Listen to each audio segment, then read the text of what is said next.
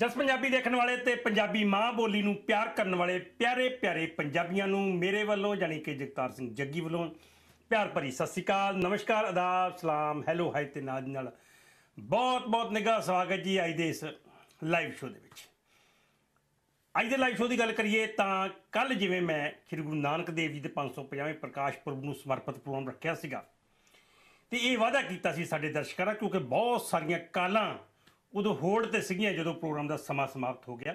ਸੋ ਮੈਂ ਵਾਅਦਾ ਕੀਤਾ ਸੀ ਵੀ ਅਸੀਂ ਅੱਜ ਵੀ ਜਿਹੜਾ ਪ੍ਰੋਗਰਾਮ, ਵੈਸੇ ਤਾਂ ਰੋਜ਼ ਸਾਨੂੰ ਯਾਦ ਕਰਨਾ ਚਾਹੀਦਾ ਰੋਜ਼ ਗੁਰੂ ਨਾਨਕ ਦੇਵ ਜੀ ਦੀਆਂ ਗੱਲਾਂ ਕਰੀਏ ਤੇ ਉਹਦੇ ਚੋਂ ਕੁਝ ਨਾ ਕੁਝ ਸਿੱਖਣ ਨੂੰ ਮਿਲਦਾ ਪਰ ਅੱਜ ਦਾ ਪ੍ਰੋਗਰਾਮ ਵੀ ਮੈਂ, ਸ੍ਰੀ ਗੁਰੂ ਨਾਨਕ ਦੇਵ ਜੀ ਦੇ 550ਵੇਂ ਪ੍ਰਕਾਸ਼ ਪੁਰਬ ਨੂੰ ਸਮਰਪਿਤ ਹੀ ਰੱਖਾਂਗਾ।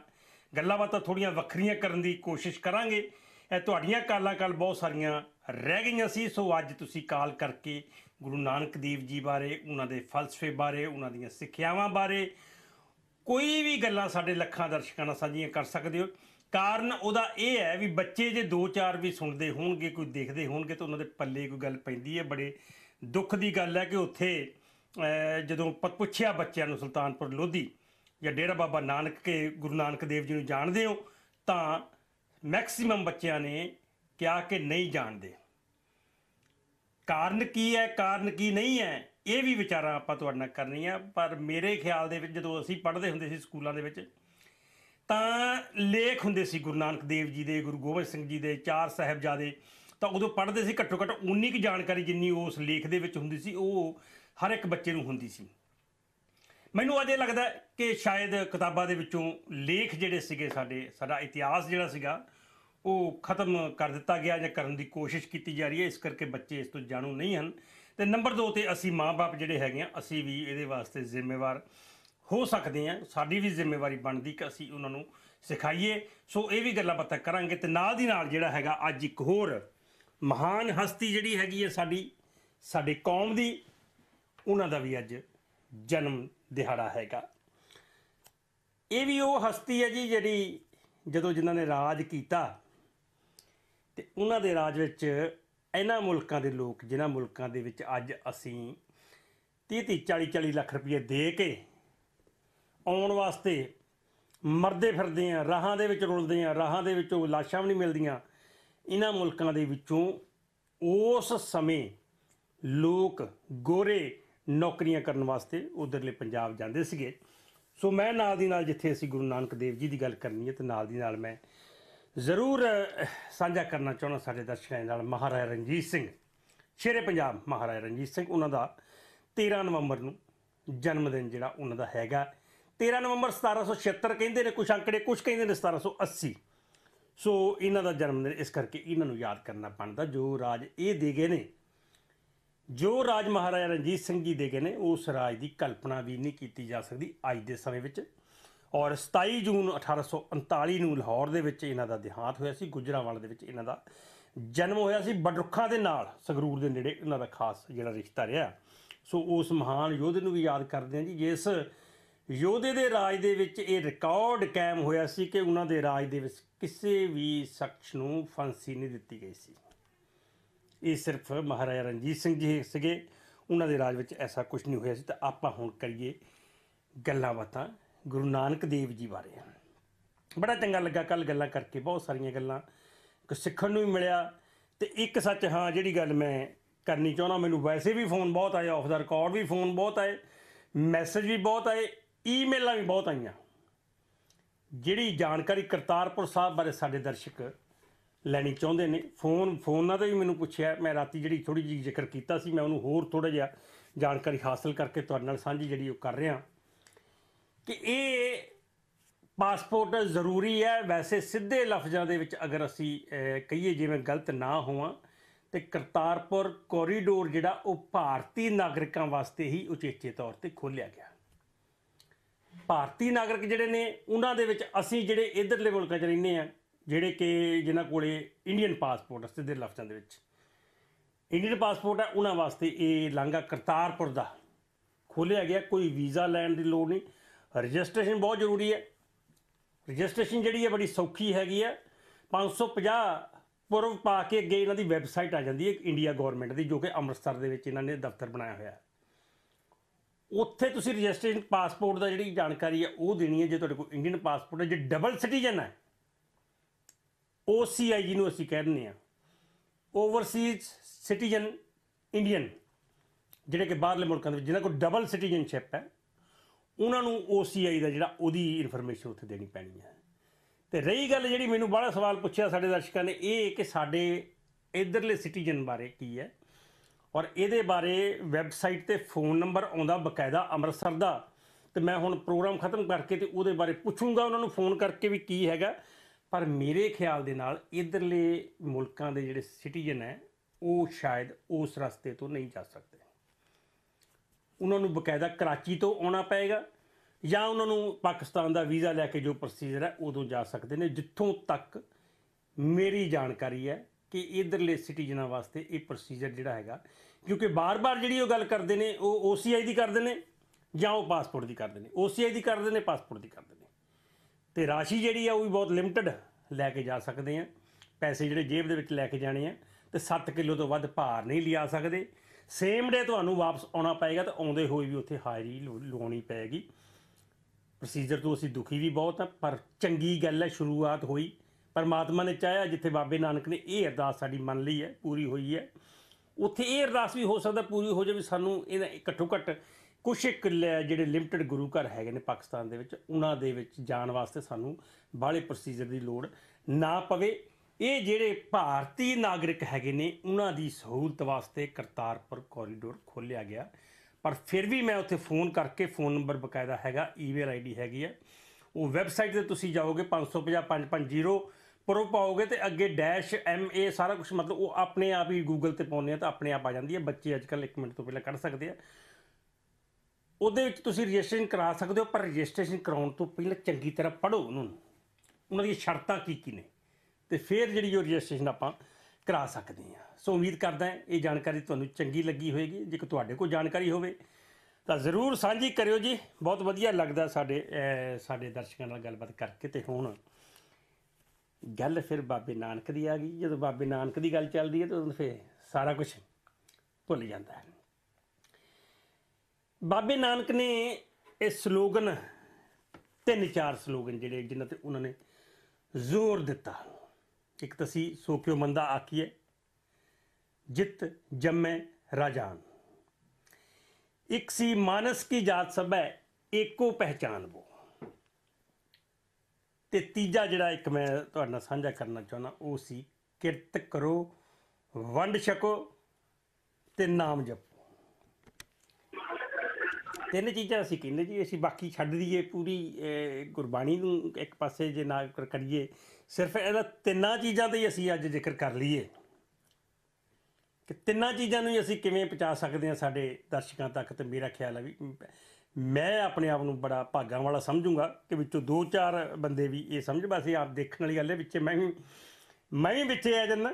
ਸਾਡੇ ਹੋਰ ਮੀਡੀਆ ਵਾਲੇ, ਚੈਨਲਾਂ ਵਾਲੇ, ਅਖਬਾਰਾਂ ਵਾਲੇ ਸਭ ਵਿੱਚ ਆ ਜਾਂਦੇ ਆ। ਸਾਡੇ ਪ੍ਰਚਾਰਕ ਵੀ ਬਹੁਤ ਸਾਰੇ ਵਿੱਚੇ ਆ ਜਾਂਦੇ, ਬਹੁਤ ਸਾਰੇ ਸਿਆਣੇ ਬੁੱਧੀਜੀਵੀ ਹੈਗੇ ਨੇ। ਉਹ ਵੀ ਉਸੇ ਕੈਟਾਗਰੀ 'ਚ ਆ ਜਾਂਦੇ ਨੇ ਵੀ ਜਿਹੜੇ ਕਹਿੰਦੇ ਆ, ਅਸੀਂ ਕਹਿੰਦੇ, ਨਹੀਂ ਜਿਹਨੇ ਬਾਬੇ ਨਾਨਕ ਦੀਆਂ ਗੱਲਾਂ ਮੰਨਣੀਆਂ ਚਾਹੀਦੀਆਂ। ਬਾਬੇ ਨਾਨਕ ਦੇ ਉਪਦੇਸ਼ ਨੂੰ ਫੋਲੋ ਕਰਨਾ ਚਾਹੀਦਾ। ਹੈ, ਗੁਰਬਾਣੀ ਪੜਨ ਤੱਕ ਸੀਮਤ ਨਹੀਂ ਰੱਖਣੀ ਚਾਹੀਦੀ। ਹੁਣ ਇਹਨਾਂ ਚੋਂ ਅੱਧਿਆਂ ਤੋਂ ਵੱਧ ਨੂੰ ਪੁੱਛ ਲਓ ਵਿੱਚੇ ਮੈਂ। ਵੀ ਅੱਧਿਆਂ ਤੋਂ ਵੱਧ ਮਤਲਬ ਕਿ ਫੋਲੋ ਕਰਨ ਦੀ ਬਾਤ ਦੀ ਗੱਲ ਹੈ ਪੜਦੇ ਹੀ ਨਹੀਂ ਹੋਣੇ। ਅਗਰ ਗੱਲ ਕਰੀਏ। ਤੇ ਜਿਹੜੀ ਕੱਲ ਵਾਲੀ ਗੱਲ ਹੈਗੀ ਆ, ਉਹ ਉਹ ਤੋਂ ਇਹ ਲੱਗਦਾ ਅਸੀਂ ਪਹਿਲਾਂ ਤਾਂ ਸਾਨੂੰ ਇਹ ਇਹ ਜਿਹੜਾ ਉਪਦੇਸ਼ ਹੈ ਗੁਰੂ ਨਾਨਕ ਦੇਵ ਜੀ ਦਾ, ਉਹ ਘਰ ਘਰ ਪਹੁੰਚਾਉਣ ਦੀ ਗੱਲ ਕਰਦੇ ਆ। ਉਦੋਂ ਪਹਿਲਾਂ ਗੁਰੂ ਨਾਨਕ ਦੇਵ ਜੀ ਨੂੰ ਸਾਡੇ ਬੱਚਿਆਂ ਤੱਕ ਪਹੁੰਚਾਉਣ ਦੀ ਲੋੜ ਹੈ। ਸਾਡੇ ਦਸਾਂ ਗੁਰੂਆਂ ਨੂੰ ਬੱਚਿਆਂ ਤੱਕ ਪਹੁੰਚਾਉਣ ਦੀ, ਉਦੋਂ ਪਹਿਲਾ ਕੰਮ ਇੱਕ ਹੋਰ ਖੜ ਗਿਆ ਹੁਣ, ਜਿਹੜਾ ਕਿ ਹੁਣ ਪਤਾ ਲੱਗਿਆ। ਪਰ ਇੱਕ ਗੱਲ ਦਾ ਨਜ਼ਾਰਾ ਆ ਗਿਆ, ਬਹੁਤ ਆਨੰਦ ਆਇਆ ਕਿ ਪੂਰੀ ਦੁਨੀਆ ਦੇ ਵਿੱਚ ਚਾਹੇ ਕਿਸੇ ਵੀ ਕੈਟਾਗਰੀ ਦਾ ਬੰਦਾ ਸੀ, ਚਾਹੇ ਕਿਸੇ ਵੀ ਧਰਮ ਨਾਲ ਸੰਬੰਧ ਸੀ ਚਾਹੇ ਕਿਸੇ ਵੀ ਸਟੇਟ ਦਾ ਸੀ। ਗੱਲ ਕਰੀਏ ਹਿਮਾਚਲ ਦੀ ਗੱਲ ਕਰ ਲਈਏ ਸਾਊਥ ਦੀਆਂ ਬਹੁਤ ਸਾਰੀਆਂ ਜਿਹੜੀਆਂ ਸਟੇਟਸ ਹੈਗੀਆਂ, ਉੱਥੇ ਇਹ ਗੁਰੂ ਨਾਨਕ ਦੇਵ ਜੀ ਦੇ 550ਵੇਂ ਪੁਰਬ ਸਰਕਾਰੀ ਤੌਰ ਤੇ ਜਿਹੜੇ ਮਨਾਏ ਗਏ ਆ, ਇਸ ਗੱਲ ਦਾ ਬਹੁਤ ਚਾਹ ਹੈਗਾ। ਪਰ ਦੂਜੇ ਪਾਸੇ ਇੱਕ ਹੋਰ ਚਿੰਤਾ ਦਾ ਵਿਸ਼ਾ ਜਿਹੜਾ ਖੜ ਖੜ ਗਿਆ ਐ ਸਿਰ ਚੱਕ ਕੇ ਸੱਪ ਦੀ ਫਨ ਵਾਂਗੂ, ਇਹ ਹੈ ਵੀ ਉਪਦੇਸ਼ ਪਹੁੰਚਾਉਣਾ ਤਾਂ ਬਾਅਦ ਦੀ ਗੱਲ ਹੈ, ਪਰ ਪਹਿਲਾਂ ਗੁਰੂ ਨਾਨਕ ਦੇਵ ਜੀ ਦੇ, ਗੁਰੂ ਨਾਨਕ ਦੇਵ ਜੀ ਨੂੰ ਪਹੁੰਚਾਈਏ ਸਭ ਤੱਕ ਖਾਸ ਤੌਰ ਤੇ ਬੱਚਿਆਂ ਦੇ ਤੱਕ ਪਹੁੰਚਾਈਏ। ਕੱਲ ਮੈਂ ਜ਼ਿਕਰ ਕੀਤਾ ਸੀ ਤੇ ਅੱਜ ਮੈਨੂੰ ਬਕਾਇਦਾ ਫੋਨ ਵੀ ਆਇਆ ਤੇ ਮੈਨੂੰ ਇੱਕ ਈਮੇਲ ਵੀ ਆਈ ਹੈਗੀ ਆ। ਉਹਨਾਂ ਨੇ ਇਹ ਕਿਹਾ ਕਿ ਤੁਸੀਂ ਜਿਹੜੀ ਗੱਲ ਗੱਲ ਕੀਤੀ ਸੀ, ਉਹਨੂੰ ਕਿਉਂ ਨਹੀਂ ਫਿਰ ਚੱਕਦੇ? ਕਿਉਂ ਨਹੀਂ ਉਹ ਚਰਚਾ ਦਾ ਵਿਸ਼ਾ ਬਣਾਉਂਦੇ? ਕਿਉਂ ਨਹੀਂ ਉਹ ਗੱਲ ਘਰ ਤੱਕ ਘਰ ਤੱਕ ਪਹੁੰਚਾਉਂਦੇ? ਸੋ ਮੈਂ ਇੱਕ ਤਾਂ ਜੀ ਕੱਲ ਵਾਲਾ ਵਿਸ਼ਾ ਜਿਹੜਾ ਉਹ ਤੁਹਾਡੇ ਨਾਲ ਹੀ ਸਾਂਝਾ ਕਰਨਾ ਕਿ ਬੱਚਿਆਂ ਤੱਕ ਗੁਰੂ ਨਾਨਕ ਦੇਵ ਜੀ ਜਾਂ ਸਾਡੇ ਗੁਰੂ ਸਾਹਿਬਾਨ ਜਾਂ ਇਤਿਹਾਸ ਕਿਵੇਂ ਪਹੁੰਚਾਇਆ ਜਾ ਸਕਦਾ। ਬਹੁਤ ਸਾਰੇ ਘਰਾਂ ਦੇ ਵਿੱਚ ਹੈਗਾ, ਬਹੁਤ ਸਾਰੇ ਸ਼ਹਿਰਾਂ ਦੇ ਵਿੱਚ, ਅਮਰੀਕਾ, ਕੈਨੇਡਾ ਦੇ ਸ਼ਹਿਰਾਂ ਦੇ ਵਿੱਚ ਹੈਗਾ ਕਿ ਗੁਰੂ ਘਰਾਂ ਦੇ ਵਿੱਚ ਬੱਚੇ ਜਾਂਦੇ ਨੇ ਸੁਣਦੇ ਨੇ। ਪਰ ਜ਼ਿਆਦਾਤਰ ਮੋਸਟਲੀ ਜਿਹੜੇ ਅਸੀਂ ਹੈਗੇ ਲੋਕ, ਉਹ ਜਦੋਂ ਅਸੀਂ ਸੋਚਨੇ ਕਿ ਪੰਜ ਪੌੜੀਆਂ ਦਾ ਪਾਠ ਬੱਚੇ ਨੂੰ ਆ ਗਿਆ ਤੇ ਐਂ ਲੱਗਦਾ ਵੀ ਉਹ ਸਾਰਾ ਕੁਝ ਸਿੱਖ ਗਿਆ। ਸੋ ਇਹ ਚੀਜ਼ਾਂ ਬੱਚਿਆਂ ਤੱਕ ਕਿਵੇਂ ਪਹੁੰਚਾ ਸਕਦੇ? ਖਾਸ ਤੌਰ ਤੇ ਪੰਜਾਬ ਦੇ ਬੱਚਿਆਂ ਤੱਕ। ਇਹਦੇ ਬਾਰੇ ਅੱਜ ਗੱਲਬਾਤ ਕਰਾਂਗੇ। ਸੋ ਤੁਸੀਂ ਨੰਬਰ ਡਾਇਲ ਕਰਕੇ ਗੱਲਬਾਤ ਕਰ ਸਕਦੇ ਹੋ। ਜਿਹੜਾ ਨੰਬਰ ਸਕਰੀਨ ਤੇ ਆਉਂਦਾ ਔਰ ਆਪਾਂ ਅਕਸਰ ਉੱਤੇ ਗੱਲ ਕਰੀਦੀ ਹੈ, ਸੈਕਰਾਮੈਂਟੋ ਸਟੂਡੀਓ ਦੇ ਵਿੱਚੋਂ ਅੱਜ ਵੀ ਇੱਥੋਂ ਹੀ ਗੱਲ ਕਰ ਰਹੇ ਹਾਂ। ਔਰ ਫਿਲਹਾਲ ਬ੍ਰੇਕ ਲੈਣਾ ਜੀ ਬ੍ਰੇਕ ਤੋਂ ਬਾਅਦ ਫਿਰ ਤੁਹਾਡੀਆਂ ਕਾਲਾਂ ਲਵਾਂਗੇ, ਦੇਖਦੇ ਰਹੋ, ਜਸ ਪੰਜਾਬੀ। ਜੀ ਬ੍ਰੇਕ ਤੋਂ ਬਾਅਦ ਹਾਜ਼ਰ ਹਾਂ ਇੱਕ ਵਾਰ ਫਿਰ ਤੁਹਾਡੇ ਨਾਲ ਗੱਲਾਂ ਬਾਤਾਂ ਕਰਨ ਵਾਸਤੇ ਤੇ ਗੱਲਾਂ ਬਾਤਾਂ ਸਿਲਸਿਲਾ ਸ਼ੁਰੂ ਕਰਦੇ ਹਾਂ। ਕੱਲ੍ਹ ਤੁਹਾਡੀਆਂ ਆਉਣੀਆਂ ਸ਼ੁਰੂ ਹੋ ਗਈਆਂ ਤੇ ਪਰ ਨਾਲ ਮੈਂ ਇੱਕ ਹੋਰ ਬ੍ਰੇਕ 'ਚ ਬੈਠੇ ਬੈਠੇ ਮੇਰੇ ਗੱਲ ਦਿਮਾਗ ਦੇ ਵਿੱਚ ਆਈ ਵੀ ਕਿਉਂ ਨਾ ਅਸੀਂ ਇਸ ਤਰੀਕੇ ਨਾਲ ਜਾਣਕਾਰੀ ਸਾਂਝੀ ਕਰੀਏ, ਸਾਡੇ ਦਰਸ਼ਕਾਂ ਦੇ ਨਾਲ, ਜਿਹੜੀ ਗੱਲਬਾਤ ਵੀ ਹੋ ਜਾਏ ਤੇ ਜਾਣਕਾਰੀ ਵੀ ਹੋ ਜਾਏ। ਬਾਕੀ ਆਪਾਂ ਨੂੰ ਸਾਰੇ ਪਤਾ ਹੈ ਰਾਏ ਭੋਏ ਦੀ ਤਲਵੰਡੀ ਮਹਿਤਾ ਕ- ਕਾਲੂ ਠੀਕ ਹੈ ਜੀ, ਸਾਰੀਆਂ ਗੱਲਾਂ ਬਾਤਾਂ ਆਪਾਂ ਅਕਸਰ ਛੋਟੇ ਛੋਟੇ ਹੁੰਦੇ ਵੀ ਸੁਣਦੇ ਸੀ, ਪੜ੍ਹਦੇ ਸੀ। ਪਰ ਮੈਂ ਬਾਹਲਾ ਜ਼ਿਕਰ ਉਦਾਸੀਆਂ ਦਾ ਨਹੀਂ ਕਿਤੇ ਸੁਣਿਆ। ਚਾਰ ਉਦਾਸੀਆਂ ਜਿਹੜੀਆਂ ਗੁਰੂ ਨਾਨਕ ਪਾਤਸ਼ਾਹ ਨੇ ਕੀਤੀਆਂ ਸੀ, ਉਹ ਨਹੀਂ ਮੈਂ ਜ਼ਿਆਦਾ ਕਿਸੇ ਕੋਲ ਕਦੇ ਸੁਣੀਆਂ। ਸੋ ਮੈਂ ਚਾਹਾਂਗਾ ਵੀ ਸਾਡੇ ਦਰਸ਼ਕ ਜਿਹੜੇ ਆ, ਉਹ ਚਾਰ ਉਦਾਸੀਆਂ ਦਾ ਜ਼ਿਕਰ ਅਸੀਂ ਜ਼ਰੂਰ ਕਰਾਂਗੇ। ਹੋਰ ਕੁਝ ਨਹੀਂ ਤੇ ਘੱਟੋ ਘੱਟ ਇਹ ਕਿ ਕਿਹੜੇ ਕਿਹੜੇ ਸੰਨ ਦੇ ਵਿੱਚ ਉਹਨਾਂ ਨੇ ਚਾਰ ਉਦਾਸੀਆਂ ਕੀਤੀਆਂ। ਸੋ ਫਿਰ ਕੋਸ਼ਿਸ਼ ਮੈਂ ਕਰੂੰਗਾ ਜੀ ਜਿੰਨੀ ਕੁ ਮੈਨੂੰ ਜਾਣਕਾਰੀ ਹੋਈ ਤੁਹਾਡੇ ਨਾਲ ਸਾਂਝੀ ਕਰਨ ਦੀ ਕ- ਕੋਸ਼ਿਸ਼ ਕਰੂੰਗਾ ਪਰ ਤੁਸੀਂ ਸਾਰੇ ਮੇਰੇ ਨਾਲੋਂ ਸਿਆਣੇ ਹੋ ਤੁਸੀਂ ਸਾਰੇ ਜ਼ਿਆਦਾ ਪੜ੍ਹੇ ਲਿਖੇ ਹੋ ਸੂਝਵਾਨ ਹੋ। ਸੋ ਇਹ ਮੈਂ ਚਾਹੁੰਦਾ ਇੱਕ ਜਾਣਕਾਰੀ ਜ਼ਰੂਰ ਵੈਸੇ ਤਾਂ ਕੋਈ ਵੀ ਜਾਣਕਾਰੀ ਗੁਰੂ ਨਾਨਕ ਦੇਵ ਜੀ ਦੀ ਹੈਗੀ ਹੈ, ਤੁਸੀਂ ਸਾਂਝੀ ਕਰ ਸਕਦੇ ਹੋ ਸਾਡੇ ਲੱਖਾਂ ਪੰਜਾਬੀਆਂ ਦੇ ਨਾਲ। ਪਰ ਉਦਾਸੀਆਂ ਦੀ ਗੱਲ ਉਦਾਸੀਆਂ ਦਾ ਜ਼ਿਕਰ ਮੈਂ ਜ਼ਰੂਰ ਚਾਹਾਂਗਾ ਸਾਡੇ ਦਰਸ਼ਕ ਕਰਨ। ਹੈਲੋ ਹੈਲੋ ਜੀ ਸਤਿ ਸ਼੍ਰੀ ਅਕਾਲ। ਸਤਿ ਸ਼੍ਰੀ ਅਕਾਲ ਭਾਜੀ ਕੀ ਹਾਲ ਚਾਲ ਜੀ? ਬਹੁਤ ਕਿਰਪਾ ਸਰ ਕਿਰਪਾ ਜੀ। ਕੌਣ ਬੋਲਦੇ? ਮੈਂ ਗੁਰਦੀਪ ਸਿੰਘ ਨਿੱਜਰ ਹਾਂ ਫਰੈਨੋ ਤੋਂ। ਜੀ ਨਿਜਰ ਸਾਹਿਬ ਸਤਿ ਸ਼੍ਰੀ ਅਕਾਲ ਜੀ ਸਵਾਗਤ ਜੀ ਹਾਂਜੀ। ਸਭ ਤੋਂ ਪਹਿਲਾਂ ਤੁਹਾਨੂੰ ਤੇ ਸਾਰੇ ਸਰੋਤਿਆਂ ਨੂੰ ਨਾਨਕ ਪਾਤਸ਼ਾਹ ਦੇ 550 ਜੀਮ ਦੇ ਆਪਣੇ ਬਰਥਡੇ ਦੀਆਂ ਬਹੁਤ-ਬਹੁਤ ਵਧਾਈਆਂ। ਪ੍ਰਕਾਸ਼ ਪੁਰਬ ਦੀਆਂ ਬਹੁਤ ਪ੍ਰਕਾਸ਼ ਪੁਰਬ ਦੀਆਂ ਬਹੁਤ-ਬਹੁਤ ਵਧਾਈਆਂ। ਤੇ ਮੇਰਾ ਕੁਐਸਚਨ ਇਹ ਹੈ ਵੀ ਜੇ ਹੁਣ ਮੈਂ ਹਾਂ ਯੂਨਾਈਟਿਡ ਸਟੇਟ ਦਾ ਪਾਸਪੋਰਟ ਮੇਰੇ ਕੋਲ ਪਾਕਿਸਤਾਨ ਦਾ ਵੀਜ਼ਾ ਲੱਗਾ ਹਾਂਜੀ। ਤੇ ਫੇਰ ਕੀ ਪ੍ਰੋਸੀਜਰ ਹੈ ਫੇਰ ਤੇ ਕੋਈ ਪ੍ਰੋਸੀਜਰ। ਡਿਫਰੈਂਟ ਨਹੀਂ। ਹੋਊਗਾ? ਨਹੀਂ ਮੇਰੇ ਜਿਹੜੀ ਹੈਗਾ ਜਿਹੜਾ ਇਹਨਾਂ ਦੇ ਵੀ ਸਿਸਟਮ ਹੈ ਨਾ ਜੀ ਇਮੀਗ੍ਰੇਸ਼ਨ ਦਾ ਸਿਸਟਮ ਉਹ ਕਰਤਾਰਪੁਰ ਨਹੀਂ ਹੈਗਾ। ਕਰਤਾਰਪੁਰ ਤੁਸੀਂ ਜਾਣਾ ਵਾ। ਕਰਤਾਰਪੁਰ ਤੁਹਾਨੂੰ ਉਧਰ ਮੇਰੇ ਹਿਸਾਬ ਦੇ ਨਾਲ ਫਿਰ ਵੀ ਮੈਂ ਅੱਜ ਫੋਨ ਕਰਕੇ ਕਲੀਅਰ ਕਰ ਦੂੰਗਾ। ਮੇਰੇ ਹਿਸਾਬ ਦੇ ਨਾਲ ਤੁਹਾਨੂੰ ਕਰਾਚੀ ਤੋਂ ਆਉਣਾ ਪੈਣਾ। ਅੱਛਾ ਅੱਛਾ ਚਲੋ ਠੀਕ। ਠੀਕ ਹੈ ਜੀ। ਚਲੋ ਠੀਕ ਹੈ ਥੈਂਕ ਯੂ ਤੁਹਾਡਾ ਬਹੁਤ ਬਹੁਤ ਬਹੁਤ। ਮਿਹਰਬਾਨੀ ਜੀ, ਬਹੁਤ ਮਿਹਰਬਾਨੀ ਔਰ ਚੰਗਾ ਲੱਗਦਾ ਜੀ ਜਾਣਕਾਰੀ ਜਦੋਂ ਸਾਂਝੀ ਕਰਦੇ। ਹੈਲੋ ਹੈਲੋ ਜੀ ਸਤਿ ਸ਼੍ਰੀ ਅਕਾਲ ਜੀ। ਸਤਿ ਸ਼੍ਰੀ ਅਕਾਲ ਜੀ। ਜੀ। ਸਰ ਕੌਣ ਬੋਲਦੇ ਜੀ? ਮੈਂ ਕਵੀ ਇੰਦਰ ਸਿੰਘ ਬੋਲਦਾ ਜੀ ਜੀ ਲਾਸ ਐਂਜਲਸ ਤੋਂ। ਕਵੀ ਇੰਦਰ ਸਿੰਘ ਜੀ ਲਾਸ ਐਂਜਲਸ ਵਾਹ ਜੀ ਵਾਹ। ਇਹ ਇੰਦਰ ਜੀ ਆਪਣੀ ਕਦੇ ਹੋਈ ਨਹੀਂ ਮੁਲਾਕਾਤ? ਜੀ ਐਲਏ ਵਗੈਰਾ ਕਾਫੀ ਆਉਂਦੇ ਰਹਿੰਦੇ ਕਦੇ ਕੋਈ ਜ਼ਿਕਰ ਨਹੀਂ ਹੋਇਆ ਤੇ ਜੀ ਜੀ ਜੀ। ਕਿਸ ਤਰ੍ਹਾਂ ਦੀਆਂ ਕਵਿਤਾਵਾਂ ਤੁਸੀਂ ਲਿਖਦੇ? ਆ ਅਸਲ ਮੈਂ ਕਵਿਤਾਵਾਂ ਨਹੀਂ ਲਿਖਦਾ ਜੀ ਮੈਂ ਬੱਚਿਆਂ ਨੂੰ ਸੰਗੀਤ ਸਿਖਾਉਣਾ ਅੱਛਾ ਜੀ ਕੀਰਤਨ ਸਿਖਾਉਣਾ ਹਾਂਜੀ। ਤਬਲਾ ਸਿਖਾਉਣਾ ਤੇ ਮੈਂ ਲਗਭਗ 30 ਸਾਲ ਸੇਵਾ ਕੀਤੀ ਹੈ। ਵਾਹ ਜੀ ਵਾਹ। ਤੇ ਕਵੀ ਜਿਹੜਾ ਤੁਸੀਂ ਲਾਉਂਦੇ ਹੋ ਨਾਲ ਫਿਰ? ਨਾਮ? ਇਹ ਆਪਣੇ ਬਜ਼ੁਰਗਾਂ ਨੇ ਨਾਂ ਰੱਖਿਆ ਜੀ। ਵਾਹ ਜੀ ਵਾਹ ਵਾਹ ਜੀ ਵਾਹ ਕੀ ਬਾਤ ਹੈ। ਵੈਸੇ ਮੈਨੂੰ ਇਹ ਇਹੀ ਕਵਿਤਾ- ਪੈਂਦਾ ਕਿ ਹਾਂਜੀ? ਉਹਦਾ ਮੈਂ ਮੇਰੀ ਬੇਟੀ ਵਗੈਰਾ ਆਪਣਾ ਧਾਰਮਿਕ ਕਵਿਤਾਵਾਂ ਬੋਲਦੀ ਹੈ। ਤੇ। ਕਦੇ ਕਦੇ ਮੈਂ ਲਿਖ ਲੈਣਾ ਅੱਛਾ ਬਹੁਤ ਅੱਛੀ ਗੱਲ ਹੈ ਜੀ। ਤੇ ਜ਼ਰੂਰ ਅੱਜ ਗੁਰੂ ਨਾਨਕ ਦੇਵ ਜੀ ਦੇ ਪ੍ਰਕਾਸ਼ ਪੁਰਬ ਦੀ ਗੱਲ ਚੱਲਦੀ 550 ਦੀ ਤੇ ਮੈਂ ਚਾਹਾਂਗਾ ਵੀ ਸੁਣਾਓਗੇ ਜ਼ਰੂਰ ਤੇ ਕੋਈ ਉਦਾਸੀਆਂ ਬਾਰੇ ਜਾਣਕਾਰੀ ਸਾਡੇ ਦਰਸ਼ਕਾਂ ਨੂੰ ਜੇ ਦੇ ਦਿਓ ਤਾਂ ਬੜਾ ਵਧੀਆ ਜੀ ਤੇ ਮੈਂ ਨਾ ਤੁਹਾਡਾ ਪ੍ਰੋਗਰਾਮ ਦੇਖਦਾ ਹੁੰਨਾ ਬੜੀ ਖੁਸ਼ੀ ਹੁੰਦੀ ਹੈ। ਅਸਲ ਨਾਲ ਮੈਂ ਇੱਕ ਬੜੇ ਮੁੱਦੇ ਦੀ ਗੱਲ ਕਰਨੀ ਚਾਹੁੰਦਾ ਜੀ। ਕਿ ਬਾਹਰ ਇਹਨਾਂ ਮੁਲਕਾਂ ਦੇ ਵਿੱਚ ਨਾ ਜ਼ਰੂਰ। ਸਾਨੂੰ ਪਤਾ ਨਹੀਂ। ਜ਼ਰੂਰ ਜੀ ਜ਼ਰੂਰ। ਅਸਲ ਨਾਲ ਗੁਰੂ ਨਾਨਕ ਪਾਤਸ਼ਾਹ ਜੀ ਦਾ ਇੱਕ ਗੁਰਦੁਆਰਾ ਸੀਗਾ ਗਿਆਨ ਗੋਦੜੀ ਸਾਹਿਬ ਹਰਦੁਆਰ। ਗਿਆਨ ਗੁਲਦੀ ਹਰਦੁਆਰ ਜੀ। ਜੀ। ਅੱਛਾ ਜੀ। ਕਿਉਂਕਿ ਜਿੱਥੇ ਦੇਖੋ ਨਾ ਬਈ ਅੱਜ ਆਪਾਂ ਹਿੰਦੁਸਤਾਨ ਦੀ ਸਰਕਾਰ ਵੀ ਕਹਿ ਰਹੀ ਹੈ ਕਿ ਅਯੋਧਿਆ ਅਯੋਧਿਆ ਦੇ ਵਿੱਚ ਰਾਮ ਮੰਦਿਰ ਬਣ ਗਿਆ ਜੀ ਇਹ ਹੋ ਗਿਆ ਹੈ ਨਾ? ਹਾਂਜੀ, ਹਾਂਜੀ। ਅਸੀਂ ਅਸੀਂ ਕਹਿੰਦੇ ਵੀ ਸਾਡੇ ਗੁਰਧਾਮ ਕਦੋਂ ਆਜ਼ਾਦ ਹੋਣਗੇ ਹਾਂ ਜੀ। ਗਿਆਨ ਗੋਦੜੀ ਗੁਰਦੁਆਰਾ ਸਾਹਿਬ ਸੀਗਾ ਤੇ ਸਾਰੇ ਸਬੂਤ ਨੇ ਜਿਹੜੀਆਂ ਸਰਕਾਰ ਦੇ ਵਿੱਚ ਆਪਣੀ ਜੋ ਵੀ ਰਜਿਸਟਰੀ ਵਗੈਰਾ ਹੁੰਦੀ ਹੈ ਸਾਰੀ ਗੁਰਦੁਆਰਾ ਸਾਹਿਬ ਦੇ ਨਾਂ ਰਜਿਸਟਰੀ ਸੀਗੀ ਉਸ ਜ਼ਮੀਨ ਦੀ। ਅੱਛਾ ਜੀ ਫਿਰ ਉਸ ਤੋਂ ਬਾਅਦ ਹੁਣ ਹੁਣ ਗੁਰੂ ਘਰ ਉਹ ਹੈਗੇ ਉੱਥੇ? ਉਹ ਨਹੀਂ ਗੁਰਦੁਆਰਾ ਸਾਹਿਬ ਢਾਤਾ ਜੀ ਉੱਥੋਂ। ਓ ਹੋ ਹੋ ਹੋ। ਇੱਕ ਮਿੰਟ ਮਾੜਾ ਜਿਹਾ ਹੋਲਡ ਮਾੜਾ ਜਿਹਾ ਹੋਲਡ ਰੱਖਿਓ ਇੰਦਰ ਜੀ ਸੌਰੀ ਗੱਲ ਤੁਹਾਡੀ ਬਹੁਤ ਵਧੀਆ ਹੈਗੀ ਹੈ ਤੇ ਮੈਂ ਦੁਬਾਰਾ ਜਿਹੜੀ ਇਹ ਗੱਲ ਤੁਹਾਡੇ ਨਾਲ ਜੁੜਨਾ ਚਾਹੁੰਦਾ। ਜੀ ਹਾਂਜੀ ਹੁਣ ਮਾੜਾ ਜਿਹਾ ਦੱਸੋ ਜੀ ਦੁਬਾਰਾ ਤੁਸੀਂ। ਅੱਛਾ ਗੁਰੂ ਘਰ ਦਿੱਤਾ ਗਿਆ। ਜੀ। ਅੱਛਾ। ਤੇ ਉਸ ਇਲਾਕੇ ਦੇ ਵਿੱਚ ਜਿੰਨੀ ਵੀ ਸਿੱਖ ਸੰਗਤ ਰਹਿੰਦੀ ਹੈ ਡੇਰਾਦੂਨ ਹਰਦੁਆਰ ਲਾਗੇ ਸਾਗੇ ਮੁਰਾਦਾਬਾਦ ਹੈਗਾ ਜੀ। ਤੇ ਬਿਜਨੌਰ ਜ਼ਿਲ੍ਹਾ ਹੈਗਾ ਉੱਥੋਂ ਜਿੰਨੀ ਵੀ ਸਾਧ ਸੰਗਤ ਸੀ ਸਾਰੀ ਉੱਥੇ ਗੁਰੂ ਨਾਨਕ ਪਾਤਸ਼ਾਹ ਦੇ ਗੁਰਪੁਰਬ ਤੇ ਜਾਂਦੀ ਸੀ। ਜੀ। ਅਸਲ ਕੀ ਹੈ ਬਈ ਗੁਰੂ ਹਰਦੁਆਰ ਸਿੱਖ ਸੰਗਤ ਜਾਂਦੀ ਗੁਰਦੁਆਰੇ ਕਰਕੇ ਸੀ। ਅੱਛਾ ਜੀ। ਨਾ ਕਿ ਗੰਗਾ ਇਸ਼ਨਾਨ ਕਰਕੇ ਜਾਂਦੀ ਸੀ। ਜੀ। ਤੇ ਉਸ ਗੁਰਦੁਆਰਾ ਸਾਹਿਬ ਨੂੰ ਢਾ ਦਿੱਤਾ ਗਿਆ। ਜੀ। ਤੇ ਕਈ ਵਾਰੀ ਸਾਡੇ ਲੋਕਾਂ ਨੇ ਇਹ ਆਵਾਜ਼ ਉਠਾਈ। ਜੀ। ਦਿੱਲੀ ਗੁਰਦੁਆਰਾ ਪ੍ਰਬੰਧਕ ਕਮੇਟੀ ਤੱਕ ਵੀ ਉਠਾਈ ਹੈਗੀ ਆ। ਸ਼੍ਰੋਮਣੀ ਕਮੇਟੀ ਤੱਕ ਵੀ ਉਠਾਈ ਹੈ। ਸਰਕਾਰ ਦੇ ਦਰਬਾਰੇ ਵੀ ਬੜੀ ਅਪੀਲ ਕੀਤੀ ਕਿ ਬਾਅਦ ਧਰਨੇ ਪ੍ਰਦਰਸ਼ਨ ਵੀ ਕੀਤੇ ਨੇ। ਜੀ ਪਰ ਕੋਈ ਵੀ ਸਰਕਾਰ ਵੱਲੋਂ ਕਿਸੇ ਆਪਣੀ ਧਾਰਮਿਕ ਪਾਰਟੀ ਵੱਲੋਂ ਕਿਸੇ ਦਾ ਸਹਿਯੋਗ ਨਹੀਂ ਮਿਲਿਆ ਪਤਾ ਨਹੀਂ ਉਤੋਂ ਦਬਾਅ ਪੈਂਦਾ ਕੀ ਹੁੰਦਾ ਲੋਕਾਂ ਤੇ ਨਾ ਥੋੜੀ ਜੀ ਗੱਲ ਕਰਦੇ ਤੇ ਚੁੱਪ ਬਹਿ ਜਾਂਦੇ ਆ। ਤੇ ਮੈਂ ਕਹਿੰਦਾ ਵੀ ਜਿੱਥੇ ਰਾਮ ਮੰਦਿਰ ਵਾਸਤੇ ਇਹਨਾਂ ਰੋਲਾ ਪੈ ਰਿਹਾ ਅਸੀਂ ਕਹਿੰਦੇ ਕੋ ਧਰਮ ਧਰਮ ਦੀ ਆਜ਼ਾਦੀ ਸਾਰਿਆਂ ਨੂੰ ਹੋਣੀ ਚਾਹੀਦੀ ਹੈ। ਉਹ। ਭਾਵੇਂ ਹਿੰਦੂ ਮੁਸਲਿਮ ਸਿੱਖ ਈਸਾਈ ਕੋਈ ਵੀ ਹੋਵੇ। ਬਿਲਕੁਲ ਜੀ ਬਿਲਕੁਲ। ਅਸੀਂ ਚਾਹੁੰਦੇ ਵਧੀਕੀ ਕਿਸੇ ਤੇ ਨਹੀਂ ਹੋਣੀ ਚਾਹੀਦੀ। ਬਿਲਕੁਲ ਜੀ। ਪਰ ਮੈਂ ਕਹਿੰਦਾ ਅੱਜ ਗੁਰੂ ਨਾਨਕ ਪਾਤਸ਼ਾਹ ਜੀ ਦਾ ਅਸੀਂ 550ਵਾਂ ਪ੍ਰਕਾਸ਼ ਪੁਰਬ ਮਨਾ ਰਹੇ ਹਾਂ। ਜੀ। ਤੇ ਪਾਕਿਸਤਾਨ ਨੇ ਸਾਡੇ ਵਾਸਤੇ ਦਰਵਾਜ਼ੇ ਖੋਲਤੇ ਲਾਂਗਾ ਖੋਲਤਾ। ਤੇ ਭਾਰਤ ਸਰਕਾਰ ਕੀ ਕਰ ਰਹੀ ਹੈ? ਭਾਰਤ ਸਰਕਾਰ ਕਹਿ ਮੋਦੀ- ਚਾਹੇ ਸਾਡੀ ਜਿਹੜੀ ਸਰਮੌਰ ਸੰਸਥਾ ਹੈਗੀ ਆ ਸਿੱਖ ਧਰਮ ਦੀ ਉਹ ਕੀ ਕਰ ਰਹੀ ਸਵਾਲ ਤਾਂ ਕਈ ਨੇ ਜੀ। ਜੀ ਬਿਲਕੁਲ ਬਿਲਕੁਲ। ਜੀ। ਜੀ। ਤੇ ਮੈਂ- ਆਪਣੇ ਇੱਥੇ ਗੁਰਦੁਆਰਾ ਸਾਹਿਬਾਨ ਦੇ ਜਿਹੜੇ ਪ੍ਰਬੰਧਕ ਨੇ ਉਹਨਾਂ ਨਾਲ ਵੀ ਗੱਲਬਾਤ ਕੀਤੀ ਹੈਗੀ ਜੀ। ਮੈਂ ਕਿਹਾ ਦੇਖੋ ਅਸੀਂ ਇੱਥੋਂ ਹਾ ਦਾ ਨਾਰਾ ਤੇ ਮਾਰ ਹੀ ਸਕਦੇ ਹਾਂ ਨਾ ਜੀ। ਜੀ ਜੀ ਜੀ ਜੀ ਬਿਲਕੁਲ ਜੀ। ਮੇਰੀ ਇਹ ਅਪੀਲ ਹੈਗੀ ਹੈ ਆਪ ਜੀ ਨੂੰ ਵੀ। ਤੇ ਜੇ ਆਪ ਜੀ ਕਹੋ ਤੇ ਮੈਂ ਸਾਰੇ ਡਾਕੂਮੈਂਟਸ ਆਪ ਜੀ ਨੂੰ ਪ੍ਰੋਵਾਈਡ ਕਰਾ ਸਕਦਾ ਜੀ। ਇਹ ਅਸਲ 'ਚ ਜੀ ਇਹ ਜਿਹੜਾ ਧਰਮ ਦਾ ਕੰਮ ਹੈ ਅਸੀਂ ਤਾਂ ਜਿਹੜਾ ਅਸੀਂ ਹੋਕਾ ਦੇ ਸਕਦੇ ਉਹ ਦੇ ਸਕਦੇ ਹਾਂ। ਬਾਕੀ ਇਹ ਤਾਂ ਆਪਣੇ ਜਿਹੜੇ ਨਹੀਂ ਇਹ ਤੁਸੀਂ ਜਿਹੜੀ ਸੇਵਾ ਕਰ ਰਹੇ ਹੋ ਨਾ ਜੀ। ਉਹ ਅੱਗੇ ਲੱਗਣ ਤਾਂ। ਇਹ ਮੈਂ ਤੁਹਾਡਾ ਪ੍ਰੋਗਰਾਮ ਸੁਣਦਾ ਹੁੰਨਾ ਤੁਸੀਂ ਬਹੁਤ ਹੀ ਸੱਚੀਆਂ ਗੱਲਾਂ ਕਰ ਰਹੇ ਹੋ। ਜਿਹੜੀਆਂ ਕਿ ਗੁਰੂ ਨਾਨਕ ਪਾਤਸ਼ਾਹ ਜੀ ਦੇ ਦੱਸੇ ਹੋਏ ਰਾਹ ਤੇ ਸਾਨੂੰ ਤੋਰਦੀਆਂ ਨੇ ਨਾ। ਵੱਡੇ ਵੱਡੇ ਪ੍ਰਚਾਰਕ ਵੀ ਇਹਨਾਂ ਗੱਲਾਂ ਨੂੰ ਕਰਦਿਆਂ ਹੋਇਆਂ।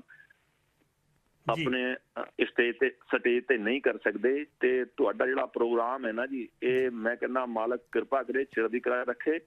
ਤੇ ਇਸੇ ਤਰ੍ਹਾਂ ਤੁਸੀਂ ਧਰਮ ਕੌਮ ਦੀ ਦੇਸ਼ ਦੀ ਸੇਵਾ ਕਰਦੇ ਹੋ ਜੀ ਬਿਲਕੁਲ ਜਿੰਨੀ ਕੁ ਸੋਝੀ ਹੈ ਜੀ ਕੋਸ਼ਿਸ਼ ਕਰਦੇ ਆ ਬਾਕੀ ਜਿਹੜੇ ਸਾਡੇ ਦਰਸ਼ਕ ਉਹ ਸਿਆਣੇ ਨੇ ਉਹ ਬਹੁਤ ਮਿਹਰਬਾਨੀ ਤੁਹਾਡੀ ਗੱਲਬਾਤ ਕਰਨ ਵਾਸਤੇ। ਤੁਹਾਡਾ ਗੱਲ ਤੁਹਾਡੀ ਬਹੁਤ ਵਧੀਆ ਹੈ। ਜ਼ਰੂਰ ਅਸੀਂ ਕੋਸ਼ਿਸ਼ ਕਰਾਂਗੇ ਜੀ ਇਹਨੂੰ ਅਸੀਂ ਸੰਗਤ ਦੇ ਮੂਹਰੇ ਰੱਖੀਏ। ਬਹੁਤ ਮਿਹਰਬਾਨੀ ਤੁਹਾਡੀ। ਹੈਲੋ। ਹੈਲੋ ਜੀ ਸਤਿ ਸ਼੍ਰੀ ਅਕਾਲ। ਹੈਲੋ ਜੀ। ਸਤਿ ਸ਼੍ਰੀ ਅਕਾਲ ਜੀ ਸੁਰਿੰਦਰ ਸਿੰਘ ਜੀ ਮੈਂ ਕਿਹਾ ਜੀ ਕੱਲ ਮੌਕਾ ਸੀ ਬਾਬੇ ਦੇ ਗੁਣਗਾਨ ਕਰਨ ਦਾ ਤੇ ਕੱਲ ਤੁਸੀਂ ਟੱਕਰੇ ਨਹੀਂ। ਕੱਲ ਮੈਂ ਦੋ ਤਿੰਨ ਵਾਰੀ ਫੋਨ ਲਾਇਆ ਮਿਲਿਆ ਨਹੀਂ ਫਿਰ ਮੈਂ ਹਟੀ ਗਿਆ ਪਤਾ ਨਹੀਂ ਕਾਹਤੇ ਨਹੀਂ ਮਿਲਿਆ। ਨਹੀਂ ਕੱਲ ਫੋਨ 'ਚ ਪਹਿਲੇ ਸੈਗਮੈਂਟ 'ਚ ਥੋੜੀ ਜਿਹੀ ਇਹ 'ਚ ਤਕਨੀਕੀ ਨੁਕਸ ਸੀਗਾ ਜਦੋਂ ਬਾਹਰੋਂ ਲੈ ਕੇ ਆਈਏ ਸਾਰਾ ਕੁਝ ਸਮਾਨ ਸਮੂਨ ਦੇ ਵਿੱਚ ਕੋਈ ਨਾ ਕੋਈ ਇੱਕ ਅੱਧਾ ਤਾਰ ਜੀ ਕੋਈ। ਰਹਿ ਜਾਂਦੀ ਹੈ। ਚਲੋ ਹੋਰ ਸੁਣਾਓ ਠੀਕ ਠਾਕ ਮੈਂ ਵੀ ਫਿਰ ਹਾਂ ਇਹ ਢਿੱਲ ਕਰ ਗਿਆ ਦੋ ਵਾਰੀ ਲਾ ਕੇ ਮੁੜ ਕੇ ਮੈਂ ਫਿਰ ਲਾਇਆ ਹੀ ਨਹੀਂ ਮੈਂ ਲਾਉਂਦਾ ਤਾਂ ਫਿਰ ਲੱਗ ਜਾਣਾ ਸੀ। ਪਹਿਲਾਂ ਤਾਂ ਪ੍ਰਕਾਸ਼ ਪੁਰਬ ਜਿਹੜਾ 550ਵਾਂ ਜੀ ਉਹਦੀਆਂ ਬਹੁਤ ਬਹੁਤ ਮੁਬਾਰਕਾਂ ਸਾਰੀ ਸਾਧ ਸੰਗਤ ਬਹੁਤ ਬਹੁਤ ਵਧਾਈਆਂ ਜੀ ਵਪਾਰਕ ਪੱਖੋਂ ਬਹੁਤ ਬਹੁਤ ਵਧਾਈਆਂ ਸਾਰੇ ਪ੍ਰੋਗਰਾਮਾਂ ਦੀਆਂ ਪਰ ਗੁਰੂ ਨਾਨਕ ਪੱਖੋਂ ਨਹੀਂ। ਵਪਾਰਕ ਪੱਖੋਂ ਬਹੁਤ ਵਧਾਈਆਂ ਆ ਵਪਾਰਕ ਪੱਖ ਦਾ ਬਹੁਤ ਵਧੀਆ ਸਾਰਿਆਂ ਦਾ ਚੱਲਦਾ ਆ। ਜੇ ਜਿਹੜਾ ਤੁਸੀਂ ਜੂਬਾ ਸਿਟੀ ਦਿਖਾ ਲਿਆ ਕੀਰਤਨ ਜੇ ਕਿਤੇ ਉਦਣ ਬਾਬਾ ਝੋਨੇ ਚੋਂ ਘਾਹ ਪੱਟਦਾ ਗਾਰੇ ਨਾਲ ਲਿਬੜਿਆ ਆ ਜਾਂਦਾ ਹੂੰ। ਸਟੇਜ ਤੇ ਚੜ ਜਾਂਦਾ ਤਾਂ ਰਾਗੀਆਂ ਨੇ ਜਿਹੜੇ ਥੋੜਿਆਂ ਨਾਲ ਠੀਕ ਕਰਦੇ ਆ ਨਾ ਤਬਲੇ ਉਹਨਾਂ ਨੂੰ ਮਾਰ-ਮਾਰ ਬਾਬੇ ਨੂੰ ਭਜਾਉਣਾ ਸੀ ਅੰਦਰ ਚੱਲ ਜਾਂਦਾ ਅੰਦਰੋਂ ਚਿਮਟੇ ਉਹਦੇ ਪੈਣੇ ਸੀ ਤੁਹਾਡੀ ਸਟੇਜ 'ਚ ਆਇਆ ਤੁਸੀਂ ਮੈਕ ਮਾਰ-ਮਾਰ ਕੇ ਭਜਾਉਣਾ ਸੀ ਜੇ ਬਾਬਾ ਨਹੀਂ ਜੀ, ਨਹੀਂ ਜੇ ਬਾਬਾ। ਝੋਨੇ ਚੋਂ ਘਾਹ ਪੱਟਦਾ ਆ ਜਾਂਦਾ ਨਾ ਝੋਨੇ ਚੋਂ ਘਾਹ ਪੱਟਦਾ ਨਿਪੜਿਆ। ਗਾਰੇ ਆ ਜਾਂਦਾ ਸਿੰਘ ਮੜਾ ਹੋਲਡ ਰੱਖਿਓ ਮੜਾ ਹੋਲਡ ਰੱਖਿਓ ਉਹ ਫਿਰ ਦੁਬਾਰਾ ਕਾਲ ਜਿਹੜੀ ਹੋਲਡ ਹੁੰਦੀ ਨਹੀਂ ਕੱਟ ਜਾਂਦੀ ਹੈ ਹਾਂਜੀ ਹੁਣ ਦੱਸੋ ਜੀ ਆਪਾਂ ਚਲੋ ਇਦਾਂ ਦੇ ਤਕਾਂ ਨੂੰ ਗੱਲ ਕਰਨੀ ਹੈ ਜੀ ਪ੍ਰਮਾਤਮਾ ਬਾਬਾ ਜੀ ਬਾਬਾ ਜੀ ਦੇ ਕੋਈ ਨਹੀਂ ਕੁਝ ਕਰ ਸਕਦਾ ਉਹਨਾਂ ਨੇ ਨੇ ਕਰ ਤਾਂ ਨਹੀਂ ਸਕਦਾ ਸਾਡੀ ਕੋਸ਼ਿਸ਼ ਇਦਾਂ ਦੀ ਹੁੰਦੀ ਆ ਭਈ ਜਿੱਦਾਂ ਉਹ ਚਲੋ ਹੁਣ ਲੰਗਰ ਕਿੰਨੇ ਤਰ੍ਹਾਂ ਦੇ ਲੱਗੇ ਪਤਾ ਅੱਕ ਦੀਆਂ ਡੋਡੀਆਂ ਖਾ ਕੇ ਰੋੜ ਖਾ ਖਾ ਕੇ ਦਾਸੀਆਂ ਕਰਦਾ ਰਿਹਾ। ਬਾਕੀ ਜਿਹੜੀ ਚੀਜ਼ ਸਾਡੇ ਕੋਲ ਨਹੀਂ ਜੱਗੀ ਹੁੰਦੀ ਨਾ ਉਹਦੀ ਸਾਨੂੰ ਬਹੁਤ ਕਾਲ ਹੁੰਦੀ ਆ। ਜਿਹੜਾ ਸੁਲਤਾਨਪੁਰ ਲੋਧੀ ਆ ਉਹ ਨਨਕਾਣੇ ਸਾਹਿਬ ਤੋਂ ਉਹਦੀ ਵੱਧ ਅਹਿਮੀਅਤ ਆ ਕਿਉਂਕਿ ਬਾਬਾ ਜੀ ਦਾ ਵਿਆਹ ਵੀ ਉੱਥੇ ਹੋਇਆ ਨੌਕਰੀ ਵੀ ਉੱਥੇ ਕੀਤੀ ਬੱਚੇ ਵੀ ਉੱਥੇ ਹੋਏ ਚਾਰੇ ਦਾਸੀਆਂ ਵੀ ਉੱਥੋਂ ਹੀ ਕੀਤੀਆਂ। ਸੋ ਮੈਨੂੰ ਮੈਦ ਨਹੀਂ ਵੀ ਜਿੰਨੇ ਅਸੀਂ ਪੰਜਾਬੀ ਲੋਕ ਆ ਸਾਰਿਆਂ ਨੇ ਸੁਲਤਾਨਪੁਰ ਜਾ ਕੇ ਦਰਸ਼ਨ ਇੱਕ ਉਦਾਸੀ ਸੁਰਿੰਦਰ ਸਿੰਘ ਜੀ ਉੱਥੋਂ ਕੀਤੀ ਉਹਨੇ ਮੇਰਾ ਖਿਆਲ ਤਾਂ ਚਲੋ ਪਹਿਲੀ- ਉੱਥੋਂ ਸ਼ੁਰੂ ਕੀਤੀ ਪਹਿਲੀ ਗੋਇੰਦਵਾਲ। ਸਾਹਿਬ ਤੋਂ ਸੀ ਹਾਂਜੀ ਪਹਿਲੀ ਉੱਥੋਂ ਕੀਤੀ ਆ ਬਾਕੀ ਮੇਰੇ ਖਿਆਲ ਇਧਰੋਂ ਹੀ ਕੀਤੀਆਂ ਸਾਰੀਆਂ ਸਾਹਿਬ ਦੋ। ਇੱਕ ਸੁਲਤਾਨਪੁਰ ਸਾਹਿਬ ਤੋਂ ਸੁਲਤਾਨਪੁਰ ਲੋਧੀ ਤੋਂ। ਦੋ ਕਰਤਾਰਪੁਰ ਤੋਂ ਠੀਕ ਹੈ ਜੀ। ਪਰ ਉਹ ਜੋ ਅਹਿਮੀਅਤ ਹੈ ਉਹਦੀ ਬਹੁਤ ਵੱਡੀ ਆ ਸੁਲਤਾਨਪੁਰ ਲੋਧੀ ਦੀ। ਪਰ ਉਹ ਸਾਨੂੰ ਸਾਡੇ ਕੋਲ ਸੀ ਉੱਥੇ ਅਸੀਂ ਉਹਦੇ ਦਰਸ਼ਨ ਨਹੀਂ ਕਰ ਸਕੇ। ਤੇ ਕਰਤਾਰਪੁਰ ਨੂੰ ਅਸੀਂ ਕਿੰਨਾ ਤੜਫਦੇ ਆ ਕਿੰਨਾ ਮਤਲਬ ਰਾਸਾਂ ਕੀਤੀਆਂ ਕਿੰਨਾ ਖੁੱਲ ਗਿਆ। ਅਸੀਂ ਤਾਂ ਜੀ ਜਾਂਦੇ ਹੁੰਦੇ ਸੀ ਕਿ ਬਾਬੇ ਬੇਰ ਸਾਹਿਬ ਮੱਸਿਆ ਚੱਲੋ ਬੀਬੀਓ ਬੋਲੀਆਂ ਹੀ ਬਣੀਆਂ ਹੁੰਦੀਆਂ ਸੀ। ਤੇ ਟਰਾਲੀ ਹੁੰਦੀ ਸੀ ਨੇੜੇ। ਸੀਗਾ ਨਾ? ਪਿੰਡੋਂ ਸਾਡੇ ਟਰਾਲੀ ਜਾਂਦੀ ਹੁੰਦੀ ਸੀਗੀ। ਤੇ ਹਾਂ, ਟਰਾਲੀ 'ਚ ਤੁਹਾਡੇ ਬੈਠ ਕੇ ਨੇੜੇ ਦਰਸ਼ਨ ਸੀਗਾ ਕਰਕੇ ਹੁੰਦੇ ਸੀਗੇ। ਬਾਕੀ ਆਮ ਜਿੰਨੇ ਮਤਲਬ ਮੈਂ ਕਹਿੰਦਾ ਵੀ ਜਿੰਨੇ ਆਪਣੇ ਬਾਹਰਲੇ ਲੋਕ ਵੀ ਆ ਜਿੰਨੇ ਉੱਥੇ ਵੀ ਮੈਨੂੰ ਮੈਂ ਨੇ ਸੁਲਤਾਨਪੁਰ ਦੇ ਦਰਸ਼ਨ ਕਦੇ ਕੀਤੇ ਹੁਣ ਜਾ ਕੇ ਬਹੁਤ ਗੁਰਦੁਆਰੇ ਆ ਉੱਥੇ। ਜੀ ਜੀ ਜੀ ਤੇ ਬਾਕੀ ਜਿਹੜਾ ਪੁਰਬ ਮਨਾਉਣੇ ਉਹਦੇ ਬਾਰੇ ਲੋਕ ਲੈਣਾ ਮੈਂ ਬੋਲਣੀਆਂ ਚਾਹੁੰਦਾ। ਜ਼ਰੂਰ ਜ਼ਰੂਰ ਜੀ। ਕਰ ਕਰਕੇ ਇੱਕ ਫੋਟੋ ਸ਼ੇਅਰ ਅਲਾਮਾ ਜਿਹਾ ਲਾ ਦਿੱਤਾ। ਅਸੀਂ ਵੀ ਆਪਣੇ ਬਾਬੇ ਦਾ ਪ੍ਰਕਾਸ਼ ਪੁਰਬ ਮਨਾ ਦਿੱਤਾ। ਜੀ। ਬਾਬੇ ਨੇ ਪਖੰਡ ਰੋਕਿਆ ਸੀ ਕ੍ਰੀਤੀਆਂ ਤੋਂ ਟੋਕਿਆ ਸੀ। ਹੂੰ। ਵਰਜਿਆ ਸੀ ਬੁੱਤ ਪੂਜਾ ਤੋਂ ਮਨਮੁੱਤ ਨੂੰ ਭੱਠੀ ਵਿੱਚ ਝੋਕਿਆ ਸੀ। ਕਿੰਨੇ ਚੰਗੇ ਅਸੀਂ ਧੀ ਪੁੱਤ ਤੇਰੇ ਤੇਰਾ ਹੀ ਬੁੱਤ ਬਣਾ ਦਿੱਤਾ। ਅਸੀਂ ਵੀ ਆਪਣੇ ਬਾਬੇ ਦਾ ਪੁਰਬ ਮਨਾ ਦਿੱਤਾ। ਕਹਾਉਂਦੇ ਆ ਸਿੱਖ ਅੰਦਰ ਦੇ ਬਾਹਰੋਂ ਕੋਈ ਐਸੀ ਦਿੱਖ ਨਹੀਂ। ਨਾ ਸੂਰਤ ਨਾ ਸੀਰਤ ਤੋਂ ਕਹਿ ਸਕਦਾ ਕੋਈ ਸਿੱਖ ਨਹੀਂ। ਆਇਆ ਜੋ ਸਮਝਾਉਣ ਸਾਨੂੰ ਗੁਰਦੁਆਰੇ ਵਿੱਚ ਹੀ ਖੜਕਾ ਦਿੱਤਾ। ਆਇਆ ਜੋ ਸਮਝਾਉਣ ਸਾਨੂੰ ਗੁਰਦੁਆਰੇ ਵਿੱਚ ਹੀ ਖੜਕਾ ਦਿੱਤਾ। ਅਸੀਂ ਵੀ ਬਾਬੇ ਦਾ ਪੁਰਬ ਮਨਾ ਦਿੱਤਾ। ਕੀਤਾ ਸੀ ਪੁਰਾਣਾ ਅਸੀਂ ਕਈ ਤਰ੍ਹਾਂ ਦਾ ਲੰਗਰ ਲਾਵਾਂਗੇ। ਰੋਕ ਕੇ ਬੱਸਾਂ ਕਾਰਾਂ ਨੂੰ ਰੱਜਿਆਂ ਨੂੰ ਰਜਾਵਾਂਗੇ ਭੁੱਲੇ ਨਹੀਂ ਗਰੀਬਾਂ ਨੂੰ। ਜੇ ਕਿਤੇ ਉਹ ਲੰਗਰ ਚ ਆ ਗਏ ਉਹਨਾਂ ਨੂੰ ਕੁੱਟ ਕੇ ਉੱਥੋਂ ਭਜਾਵਾਂਗੇ। ਭੁੱਲੇ ਨਹੀਂ ਗਰੀਬਾਂ ਨੂੰ। ਜੇ ਕਿਤੇ ਲੰਗਰ ਖਾਣ ਆ ਗਏ ਕੁੱਟ ਕੇ ਉੱਥੋਂ ਭਜਾਵਾਂਗੇ। ਅਸੀਂ ਵੀ ਆਪਣੇ ਬਾਬੇ ਦਾ ਪੁਰਖ ਮਨਾਵਾਂਗੇ। ਪੜ੍ਹੀਏ ਸੁਣੀਏ ਬਾਣੀ ਕਦੋਂ ਕੰਮ ਹੀ ਬਾਬਾ ਬਾਲੇ ਨੇ। ਟੀਵੀ ਸਮਾਰਟਫੋਨਾਂ ਨਾਲ ਹੋਰ ਹੀ ਝਮੇਲੇ ਵਧਾ ਲਏ ਨੇ। ਹਾਲ ਵੱਡਾ ਗ੍ਰਾਂਥੀ ਮਹਿੰਗਾ ਭਜਾ ਦਿੱਤਾ। ਅਸੀਂ ਵੀ ਬਾਬੇ ਦਾ ਪੁਰਬ ਮਨਾ ਦਿੱਤਾ। ਜਾ। ਕੇ ਦਵਿੰਦਰਾ ਗੁਰਦੁਆਰੇ ਸਾਲ ਦਾ ਕੰਮ ਮੁਕਾ ਦਿੱਤਾ। ਅਸੀਂ ਵੀ ਆਪਣੇ ਬਾਬੇ ਦਾ ਪੁਰਬ ਮਗਾ ਦਿੱਤਾ। 36 36 ਤਰ੍ਹਾਂ ਦੇ ਲੰਗਰ ਲਾ ਕੇ ਸਾਰਾ ਕੁਝ ਮੁਕਾ ਦਿੱਤਾ ਅਸੀਂ ਵੀ ਬਾਬੇ ਦਾ ਪੁਰਬ ਮਨਾ ਦਿੱਤਾ ਜੱਗੀ ਜੀ ਅਸੀਂ ਵੀ ਬਾਬੇ ਦਾ ਪੁਰਬ ਮਨਾ ਦਿੱਤਾ। ਬਹੁਤ ਮਿਹਰਬਾਨੀ ਜੀ ਬਹੁਤ ਮਿਹਰਬਾਨੀ।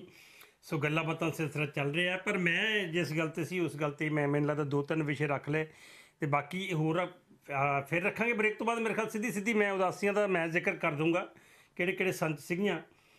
ਤੇ ਬੱਚਿਆਂ ਦੀ ਜਿਹੜੀ ਹੈ ਬੱਚਿਆਂ ਨੂੰ ਅਸੀਂ ਕਿਵੇਂ ਆਪਣੇ ਗੁਰੂ ਸਾਹਿਬਾਨ ਜਿਹੜੇ ਹੈਗੇ ਆ ਉਹਨਾਂ ਦੀ ਜਾਣਕਾਰੀ ਕਿਵੇਂ ਦੇ ਸਕਦੇ ਆ ਖਾਸ ਤੌਰ ਤੇ ਪੰਜਾਬ ਦੀ ਮੈਂ ਗੱਲ ਕਰਦਾ, ਹਾਲਾਂਕਿ ਪੰਜਾਬ ਇਧਰਲੇ ਮੁਲਕਾਂ ਦੇ ਵਿੱਚ ਬੱਚਿਆਂ ਨੂੰ ਪਤਾ ਹੋਊਗਾ, ਦਸਾਂ ਗੁਰੂਆਂ ਦੇ ਨਾਮ ਪੁੱਛ ਲਓ। ਪੰਜਾਬ ਦੀ ਗੱਲ ਜਿਹੜੀ ਕਰਦੇ ਜਿਹੜੀ ਵੀਡੀਓ ਅਸੀਂ ਦੇਖੀ ਸੀਗੀ, ਸੋ ਉਹਦੀ ਗੱਲ ਕਰਦੇ ਕਿ ਅਸੀਂ ਬੱਚਿਆਂ ਤੱਕ ਇਹ ਇਤਿਹਾਸ ਕਿਵੇਂ ਪਹੁੰਚਾ ਸਕਦੇ ਆ, ਉਪਦੇਸ਼ ਬਾਅਦ ਦੀ ਗੱਲ ਹੈ। ਫਿਲਹਾਲ ਬ੍ਰੇਕ ਦੇਖਦੇ ਰਹੋ, ਦਸ ਪੰਜਾਬੀ। ਜੀ ਬ੍ਰੇਕ ਤੋਂ ਬਾਅਦ ਹਾਜ਼ਰ ਹਾਂ ਔਰ ਤੁਹਾਡੀਆਂ ਕਾਲਾਂ ਸਿਲਸਿਲਾ ਨਾਲ ਨਾਲ ਸ਼ੁਰੂ ਕਰਦੇ ਹਾਂ। ਔਰ ਮੈਂ ਸੋਚਦਾ ਸੀ ਚਲੋ ਇਸ ਬ੍ਰੇਕ ਤੋਂ ਬਾਅਦ ਫਿਰ ਮੈਂ ਜਿਹੜੀ ਜ਼ਿਕਰ ਸਨ ਦਾ ਕਰ ਦੇਣਾ ਕਰ ਹੀ ਦਿੰਨੇ ਹਾਂ ਆਪਾਂ ਕਿਉਂਕਿ ਬਾਕੀ ਫਿਰ ਗੱਲਾਂ ਬਾਤਾਂ ਹੋਰ ਸ਼ੁਰੂ ਕਰਾਂਗੇ। ਜਿਹੜਾ ਕਈ ਵਾਰੀ ਸਨ ਜਿਹੜਾ ਉਹ ਨਹੀਂ ਯਾਦ ਏਡਾ ਛੇਤੀ ਛੇਤੀ ਆਉਂਦਾ। ਬੇਸ਼ੱਕ ਜਿੰਨੀ ਮਰਜ਼ੀ ਇਤਿਹਾਸ ਦੀ ਸਾਨੂੰ ਜਾਣਕਾਰੀ ਹੋਵੇ। ਜਿਹੜੀ ਅਹ, ਪੜ੍ਹਿਆ ਜਿੰਨਾ ਕੁ ਮੈਂ ਮੈਨੂੰ ਪਤਾ ਉਹ 1500 ਈਸਵੀ ਦੇ ਵਿੱਚ ਗੁਰੂ ਸਾਹਿਬ ਨੇ ਪਹਿਲੀ ਉਦਾਸੀ ਜਿਹੜੀ ਉਹ ਕਹਿੰਦੇ ਗੋਇੰਦਵਾਲ ਸਾਹਿਬ ਤੋਂ ਸ਼ੁਰੂ ਕੀਤੀ ਸੀ। 5 ਸਾਲ ਜਿਹੜੀ ਇਹ ਉਦਾਸੀ ਚੱਲੀ ਹੈ। ਔਰ ਦੁ- ਅਹ 1505 ਦੇ ਵਿੱਚ ਵਾਪਸ ਆ ਗਏ ਸੀ 1506 ਦੇ ਵਿੱਚ ਦੂਸਰੀ ਉਦਾਸੀ ਉਹਨਾਂ ਨੇ ਸੁਲਤਾਨਪੁਰ ਸਾਹਿਬ ਸ਼ੁਰੂ ਕੀਤੀ, ਸੁਲਤਾਨਪੁਰ ਲੋਧੀ ਤੋਂ। ਤੇ ਤੀਜੀ ਜਿਹੜੀ ਹੈ 1514 ਦੇ ਵਿੱਚ ਕਰਤਾਰਪੁਰ ਤੋਂ ਤੇ ਚੌਥੀ ਜਿਹੜੀ ਹੈ ਉਹ 1518 ਦੇ ਵਿੱਚ ਉਹ ਵੀ ਕਰਤਾਰਪੁਰ ਤੋਂ ਦੱਸਿਆ ਜਾਂਦਾ ਉਦਾਸੀ ਜਿਹੜੀ ਸ਼ੁਰੂ ਕੀਤੀ ਸੀ। ਲਗਭਗ ਇਹਨਾਂ ਉਦਾਸੀਆਂ ਦੇ ਵਿੱਚ ਗੁਰੂ ਸਾਹਿਬ ਨੇ 38000 ਮੀਲ ਦਾ ਪੈਂਡਾ ਤੈਅ ਕੀਤਾ।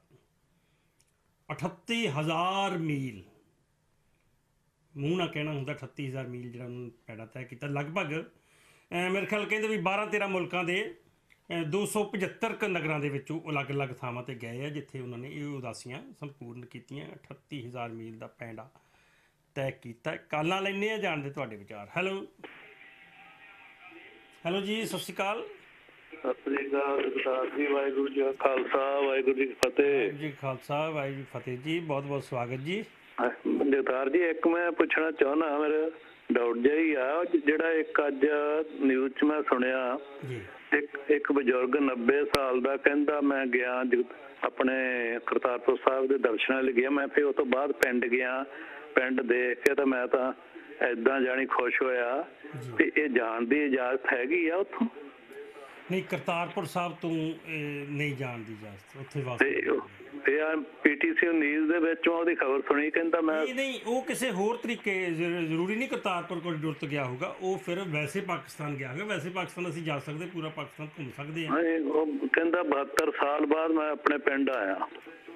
ਜੀ ਪਰ ਉੱਥੋਂ ਜਿਹੜਾ ਉਹ ਕਹਿੰਦੇ ਨੇ ਜਿਹੜਾ ਉਹ ਬਾਰ-ਬਾਰ ਲਿਖ ਕੇ ਕਹਿੰਦੇ ਨੇ ਕਿ ਵਾਪਸ ਅ, ਉੱਥੋਂ ਹੀ ਤੇ ਉਸੇ ਦਿਨ ਹੀ ਆਉਣਾ ਪੈਂਦਾ। ਆਹੋ ਮੈਂ ਤਾਂ ਉਹੀ ਕਹਿੰਦੇ ਸੀ ਗਾਹਾਂ ਜਾਣ ਦੀ ਇਜਾਜ਼ਤ ਹੈ ਨਹੀਂ ਉਹ ਕਿਸੇ ਨੂੰ ਵੀ। ਪਰ ਜੇ ਜੇ ਅਸੀਂ ਵੈਸੇ ਗੱਲ ਕਰੀਏ ਤਾਂ ਵੈਸੇ ਤਾਂ ਜਾ ਸਕਦੇ ਜੀ ਪਾਕਿਸਤਾਨ ਵੀਜ਼ਾ ਲੈ ਕੇ ਜਿੱਥੇ ਮਰਜ਼ੀ ਜਾਓ ਵੀਜ਼ਾ ਲੈ ਕੇ ਸ਼ਾਇਦ ਗਏ ਹੋਗੇ ਇਹ ਭਵਾ ਹੋਗੇ ਬਾਕੀ ਇੱਕ ਹੋਰ ਕੁਐਸਚਨ ਹੈ ਮੇਰਾ ਇਹਨੇ ਚਾਰ ਉਦਾਸੀਆਂ ਤੇ ਬਾਅਦ ਵੀ ਇੱਕ ਛੋਟੀ ਉਦਾਸੀ ਵੀ ਕੀਤੀ ਸੀ ਗੁਰੂ ਨਾਨਕ ਸਾਹਿਬ ਨੇ ਜੀ ਤੁਸੀਂ ਇਹ ਕਰੋ ਜਾਣਕਾਰੀ ਸਾਂਝੀ ਮੈਂ ਜਿਨ ਜਾਣਕਾਰੀ ਜਿਹੜੀ ਸੀ ਮੈਂ ਕੀਤੀ ਸਾਂਝੀ ਜਿਨ ਚਾਰ ਦਾਸੀਆਂ ਦਾ ਜ਼ਿਆਦਾ ਜ਼ਿਕਰ ਹੁੰਦਾ। ਨਹੀਂ ਇੱਕ ਛੋਟੀ ਉਦਾਸੀ ਜਿਹੜੀ ਸੀ ਅਸਾਮ ਤੱਕ ਸੀ ਇਹਨਾਂ ਦੀ ਦੱਸ ਦੇ ਬਾਅਦ ਚ। ਅੱਛਾ। ਹਾਂ ਇਹ ਹੈਗੀ ਆ। ਇਹ ਮੈਂ ਅੱਗੇ ਸੁਣਿਆ ਵੀ ਇਹ ਕਥਾਕਾਰਾਂ ਤੋਂ ਕਿਸੇ ਤੋਂ। ਇਹ ਹੋ ਸਕਦਾ ਵੈਸੇ ਵੈਸੇ ਤਾਂ ਜਿਹੜੀ ਪਹਿਲੀ ਉਦਾਸੀ ਦੇ ਵਿੱਚ ਕਹਿੰਦੇ ਵੀ ਉਹਨਾਂ ਨੇ 79 ਨਗਰ 79 ਨਗਰ ਜਿਹੜੇ ਕਵਰ ਕੀਤੇ ਸੀ ਦੂਜੀ ਉਦਾਸੀ ਦੇ ਵਿੱਚ 75 ਕਵਰ ਕੀਤੇ ਸੀ ਤੀਜੀ ਉਦਾਸੀ ਚ 35 ਤੇ ਚੌਥੀ ਉਦਾਸੀ ਦੇ ਵਿੱਚ 59 59 ਜਿਹੜੇ ਇਹਨਾਂ ਨੇ- ਨਾਟ ਦਾ 21 21 ਕੁ ਸਾਲ ਇਹਨਾਂ ਨੇ ਕੀਤੀਆਂ ਸਾਰੀ ਇਹ ਹਾਂਜੀ। ਜਿਹੜੀ ਯਾਤਰਾ ਕੀਤੀਆਂ। ਚਲੋ। 38000 ਮੀਲ ਦੇਖੋ ਜੀ। ਬਹੁਤ ਬਹੁਤ ਲੰਮਾ ਸਫ਼ਰ ਕੀਤਾ ਜੀ ਇਹਨੇ। ਕਿੱਥੇ ਕਿਤੇ ਤੇ- ਤਿੱਬਤ ਤੇ ਵੀ ਇਹਨਾਂ ਦੇ ਆਪਣੇ ਮਿਸਰ ਚ ਵਿੱਚ ਵੀ ਇਹਨਾਂ ਦੇ ਕਹਿੰਦੇ ਉਹ ਲੱਗੇ ਹਲ ਪਿੱਲਰ। ਬਿਲਕੁਲ ਹੈਗੇ ਜੀ ਔਰ ਜਗਤ ਗੁਰੂ ਇਸ ਵਾਰ ਪਤਾ ਲੱਗਿਆ ਕਿਉਂਕਿ ਇਸ ਵਾਰ ਲੋਕਾਂ ਨੂੰ ਪਹਿਲਾਂ ਨਾਲੋਂ ਜ਼ਿਆਦਾ ਲੋਕਾਂ ਤੱਕ ਪਹੁੰਚ ਹੋਈ ਹੈ ਗੁਰੂ ਸਾਹਿਬ ਦੀ ਤਾਂ ਔਰ ਇਸ ਵਾਰ ਲੱਗਿਆ ਕਿ ਵਾਕਈ ਜਗਤ ਗੁਰੂ ਹੈਗੇ ਨੇ।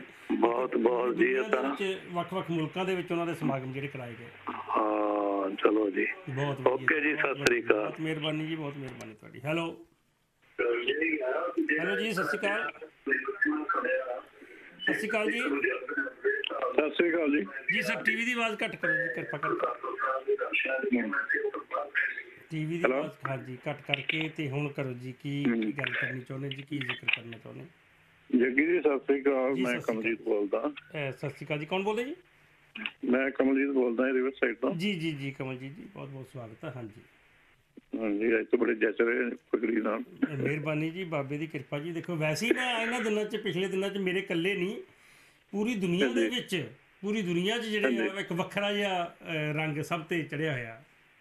ਨਹੀਂ ਨਹੀਂ ਚਾਹੀਦਾ ਵੀ ਹੈ ਬਾਬੇ ਦਾ ਜਨਮ ਦਿਨ ਮਨਾਉਣ ਲਈ ਔਰ ਪਹਿਲੀ ਵਾਰ ਇਹ ਚੀਜ਼ਾਂ ਮਹਿਸੂਸ ਹੋਈਆਂ ਤਕਰੀਬਨ ਪੂਰੀ ਦੁਨੀਆ ਦੇ ਵਿੱਚ। ਹਾਂਜੀ ਨਹੀਂ ਇਹ ਤੇ ਬਹੁਤ ਵਧੀਆ ਤੇ ਸਾਰੇ ਬਣੇ 300 ਸਾਲ ਜਦੋਂ ਹੋਏ ਸੀਗੇ ਉਦੋਂ ਜਦੋਂ ਆਹ ਗੁਰੂ ਗੋਬਿੰਦ ਸਿੰਘ ਜੀ ਦਾ ਬਣਾਇਆ ਸੀ ਤੇ ਉਦੋਂ ਉਦੋਂ ਵੀ ਸੀਗਾ ਤੇ ਬਹੁਤ ਵਧੀਆ ਜਲਾਉ ਸੀ ਪਰ ਇਹ ਵੱਖਰਾ। ਸਵਾਦ ਨਜ਼ਾਰਾ ਜਿਹੜਾ। ਨਹੀਂ ਪਟਨਾ ਸਾਹਿਬ ਤੋਂ ਵੇਖਣ ਵਾਲਾ ਸੀ ਹਾਂ ਪਿੱਛੇ ਜਦੋਂ ਮਨਾਇਆ ਨਾ ਸਤੀਸ਼ ਕੁਮਾਰ ਨੇ। ਨਤੀਸ਼ ਕੁਮਾਰ ਨੇ ਬਹੁਤ। ਜੀ। ਹਾਂਜੀ। ਅੱਛਾ ਹੁਣ ਆਪਾਂ ਕਿਹੜੀ ਗੱਲ ਕਰੀਏ? ਕਿ ਤੁਸੀਂ ਵੀਡੀਓ ਦੇਖੀ ਹੋਏਗੀ ਪੰਜਾਬ ਦੀ ਕਿ ਬੱਚਿਆਂ ਨੂੰ ਪੁੱਛਦੇ ਨੇ ਵੀ ਬਾਬੇ ਨਾਨਕ ਨੂੰ ਜਾਣਦੇ ਹੋ ਕੌਣ ਸੀ? ਤੇ ਉਹ ਕਈ ਬੱਚੇ ਤਾਂ ਹੋ ਸਕਦਾ ਸ਼ਰਮ ਦੇ ਸੰਗ ਦੇ ਮਾਰੇ ਵੀ ਉਹ ਜਵਾਬ ਨਾ ਦਿੱਤੇ ਹੁਣ ਪਰ ਜ਼ਿਆਦਾਤਰ ਫਿਰ ਵੀ ਬੱਚੇ ਜਿਹੜੇ ਸੀ ਉਹਨਾਂ ਨੇ ਕਿਹਾ ਵੀ ਨਹੀਂ ਪਤਾ ਨਹੀਂ ਜ਼ਿਆਦਾ ਨਹੀਂ ਪਤਾ। ਇਹ ਆਪਾਂ ਕਿਵੇਂ ਪਹੁੰਚਾ ਸਕਦੇ ਹਾਂ ਬੱਚਿਆਂ ਤੱਕ? ਹਾਂਜੀ। ਮੈਂ ਤੇ ਇੱਕ ਕਿਤਾਬ ਪੜ੍ਹੀ ਸੀ ਮਤਲਬ ਥੋੜਾ ਜਿਹਾ ਇਤਿਹਾਸ ਪੜ੍ਹਿਆ ਸੀ ਕਿ ਬਾਬੇ ਦੀਆਂ ਉਦਾਸੀਆਂ ਬਾਰੇ ਜਦੋਂ ਤੁਸੀਂ ਕਰਦੇ ਸੀਗੇ। ਤੇ ਬਾਬੇ ਨੇ ਉਸ ਕਿਤਾਬ ਦੇ ਵਿੱਚ ਲਿਖਿਆ ਸੀ ਕਿ ਕੋਈ 28000 ਮਤਲਬ ਮਾਈਲ 28000 ਮੀਲ ਸਫ਼ਰ 28 ਸੀ ਜਾਂ ਕੀਤਾ 38 ਸੀਗਾ ਸੀ? 38 ਸੀ 28 ਸੀ? ਉੱਥੇ ਉਹਨਾਂ ਨੇ 28000 ਲਿਖਿਆ ਸੀਗਾ ਮੈਂ ਕੋਈ ਉਹ ਸੀ ਉਹਨਾਂ ਦੇ 38000 ਚਲੋ ਫਿਰ ਵੀ 28000 ਵੀ ਕੋਈ ਮਤਲਬ 28 ਤੋਂ 31 ਹੈ, ਮਤਲਬ 24 ਸਾਲ ਉਹਨਾਂ ਨੇ ਲਾਏ ਮਤਲਬ ਉਦਾਸੀਆਂ ਦੇ ਵਿੱਚ। ਜੀ। ਤੇ ਮਤਲਬ ਉਦੋਂ ਤੇ ਨਾ ਤੇ ਕੋਈ ਇਹੋ ਸੀਗਾ ਵੀ ਮੈਂ ਤੇ ਇੱਕ ਹੋਰ ਵੀ ਸਕਾਲਰ ਤੋਂ ਸੁਣ ਲਿਆ ਸੀ ਉਹ ਬੰਦੇ ਵੀ ਜਿੱਦਾਂ ਬੋਰ ਦੇ ਵਿੱਚ ਕੀਤਾ ਸਫ਼ਰ ਉਹਨਾਂ ਨੇ ਮਤਲਬ ਪੈਦਲ ਕੀਤਾ ਸਭ ਕੁਝ ਤੇ ਉਦੋਂ ਤਾਂ ਕੋਈ ਇਹੋ ਜਿਹਾ ਨਹੀਂ ਹਿਸਾਬ ਤਾਂ ਫਿਰ ਵੀ ਉਹ ਤਾਂ ਸ਼ਕਤੀ ਆਪ ਹੀ ਅਕਾਲ ਪੁਰਖ ਸਾਨੂੰ ਕੁਝ ਵੀ ਕਰ ਸਕਦੇ ਸੀਗੇ। ਹੈਰਾਨੀ ਹੁੰਦੀ ਹੈ ਜੀ ਅੱਜ ਅਸੀਂ ਦਫ਼ਤਰੋਂ ਆਪਣੇ ਘਰ ਨੂੰ ਆਉਣਾ ਹੋਵੇ ਕੰਮ ਤੇ ਨੈਵੀਗੇਸ਼ਨ ਤੋਂ ਬਿਨਾਂ ਨਹੀਂ ਆਉਂਦੇ। ਤੇ ਉਹਨਾਂ ਨੇ ਉਹ ਸਮਾਂ ਦੇਖੋ ਇੰਨਾ ਸਫ਼ਰ। ਹੈਲੋ। ਬਹੁਤ ਵੱਡਾ ਸਫ਼ਰ ਸੀਗਾ ਉਹਨਾਂ ਦਾ ਮਤਲਬ ਉਹਨਾਂ ਨੇ ਮਤਲਬ ਜਿੱਥੇ ਜਿੱਥੇ ਵੀ ਉਹਨਾਂ ਨੇ ਤਾਰਨਾ ਸੀਗਾ ਜਿੱਦਾਂ ਕੋਡੇ ਰਾਕਸ਼ ਨੂੰ ਤੇ ਹੋਰ ਕਈ ਤੇ ਸਾਰਾ ਜਿੱਥੇ ਜਿੱਥੇ ਜ਼ੁਲਮ ਹੋਣ ਡਿਆ ਸੀ ਜ਼ੁਲਮ ਦੇ ਉਹਨਾਂ ਨੇ ਅਗੇਂਸਟ ਹੀ ਸਭ ਕੁਝ ਕੀਤਾ ਉਹਨਾਂ ਨੂੰ ਸੁਧਾਰਿਆ। ਬਿਲਕੁਲ ਜੀ ਅਗਰ ਮੈਂ ਤਾਂ ਉਹਨਾਂ ਦੇ ਇਹ ਵੇਖੇ ਆ ਗੁਰਦਾ ਜਿੱਤੇ ਰੀਟੇ ਮਿੱਟੇ ਕੀਤੇ ਨੇ। ਤੇ ਜਿੱਥੇ ਜਿੱਥੇ ਵੀ ਉਹਨਾਂ ਦੇ ਗੁਰਦੁਆਰੇ ਨੇ ਮਤਲਬ ਉਹ ਤਾਂ ਮਤਲਬ ਵੀ ਇੱਕ ਆਪ ਹੀ ਸਭ ਕੁਝ ਸੀਗੇ। ਜੀ। ਤੇ ਮੈਂ ਤੇ ਇਹ ਵੀ ਇੱਕ ਤਾਂ ਪੜਿਆ ਸੀ ਕਿਤਾਬ ਚ ਉਹਨਾਂ ਲਿਖਿਆ ਵੀ ਜਦੋਂ ਇਹ ਸਾਰੇ ਰਾਮ ਰੂਮ ਜਿਹਨੇ ਸ਼ਿਵ ਜੀ ਸ਼ਿਵਜੀ ਗਣੇਸ਼ ਗਣੂ ਜੀ ਇਹਨਾਂ ਕੋ ਨਹੀਂ ਸੀ ਸਾਂਭਿਆ ਗਿਆ ਕੰਮ ਤੇ ਫਿਰ ਬਾਬੇ ਨਾਨਕ ਨੂੰ ਧਰਤੀ ਨੇ ਅਪੀਲ ਕੀਤੀ ਸੀਗੀ ਜੀ ਕਿ ਤੁਸੀਂ। ਤੁਹਾਡੇ ਹੁਣ ਤੁਹਾਨੂੰ ਆਉਣਾ ਪੈਣਾ ਹਾਂਜੀ ਇਹ ਬਹੁਤ ਸਾਰੀਆਂ। ਬਹੁਤ ਸਾਰੀਆਂ ਚੀਜ਼ਾਂ ਇਹ ਹੋ ਸਕਦੀਆਂ ਬਹੁਤ ਸਾਰੀਆਂ ਚੀਜ਼ਾਂ ਇਤਿਹਾਸ ਹੋਣ ਜਾਂ ਬਹੁਤ ਸਾਰੀਆਂ ਚੀਜ਼ਾਂ ਬਾਅਦ ਦੇ ਵਿੱਚ ਮਿੱਥਾਂ ਵੀ ਬਣੀਆਂ ਹੋ ਸਕਦੀਆਂ ਕੋਈ ਹੋ ਸਕਦਾ ਸੱਚੀਆਂ ਵੀ ਹੋਣ ਚਲੋ ਤੁਸੀਂ ਜਾਣਕਾਰੀ ਸਾਂਝੀ ਕੀਤੀ ਹੈ ਬੜੀ ਵਧੀਆ ਗੱਲ ਲੱਗੀ ਨਹੀਂ ਨਹੀਂ ਮਿੱਥੇ ਤੇ ਜਾਓ ਜਿੱਤੇ ਰੀਠੇ ਮਿੱਠੇ ਕੀਤੇ ਨੇ। ਉਹ ਹਾਲੀ ਵੀ ਉਦਾਂ ਹੀ ਨੇ ਹਾਂਜੀ ਤੇ ਹੋਰ ਵੀ ਕਈ ਯੂਪੀ ਚ ਇੰਨੇ ਗੁਰ- ਘਰ ਨੇ ਉੱਥੇ ਤੁਸੀਂ ਜਾ ਕੇ ਵੇਖੋ ਤੇ ਉੱਥੇ ਸਾਹਮਣੇ ਸਭ ਕੁਝ ਹੈ ਜੀ ਬਿਲਕੁਲ ਬਿਲਕੁਲ ਬਿਲਕੁਲ। ਮਿੱਥੇ ਇੱਕ ਅੱਧੀ ਮਿੱਥੇ ਹੋ ਸਕਦੀ ਹੈ ਲੇਕਿਨ ਬਾਕੀ ਇੰਨਾ ਕੁਝ ਹੈ ਇਤਿਹਾਸ ਤਾਂ ਪਿਆ ਸਾਹਮਣੇ ਨਾ ਉਹਨੂੰ ਪੰਜਾ ਸਾਹਿਬ ਦਾ ਇਤਿਹਾਸ ਗੱਲ ਕਰੀਏ ਤੇ ਪੰਜਾ ਸਾਹਿਬ ਦਾ ਇਤਿਹਾਸ ਸਾਹਮਣੇ ਪਿਆ। ਹਾਂਜੀ ਤੁਸੀਂ ਦੇਰ ਚਲੇ ਜਾਓ ਉੱਥੇ ਵੇਖੋ ਹਾਲੀ ਤੱਕ ਉਹ ਪਾਣੀ ਥੱਲੇ ਆਉਣ ਡਿਆ। ਜੀ ਬਿਲਕੁਲ। ਤੇ ਬਾਬਾ ਨਾਨਕ ਦੇ ਵਾਸਤੇ। ਓਕੇ ਓਕੇ ਸਤਿ ਸ੍ਰੀ ਅਕਾਲ ਜੀ ਜਗੀ ਸਤਿ ਸ਼੍ਰੀ ਅਕਾਲ ਜੀ ਬਹੁਤ ਮਿਹਰਬਾਨੀ ਔਰ ਜਾਣਕਾਰੀ ਦੀ ਜਿਹੜੀ ਗੱਲ ਹੈ ਉਹ ਜਾਣਕਾਰੀ 'ਚ ਵਾਧਾ ਬਹੁਤ ਹੁੰਦਾ ਜਦੋਂ ਇਦਾਂ ਗੱਲਬਾਤ ਕਰਦੇ ਹਾਂ ਬੈਠ ਕੇ ਗੱਲਾਂ 'ਚੋਂ ਗੱਲ ਨਿਕਲਦੀ ਹੈ।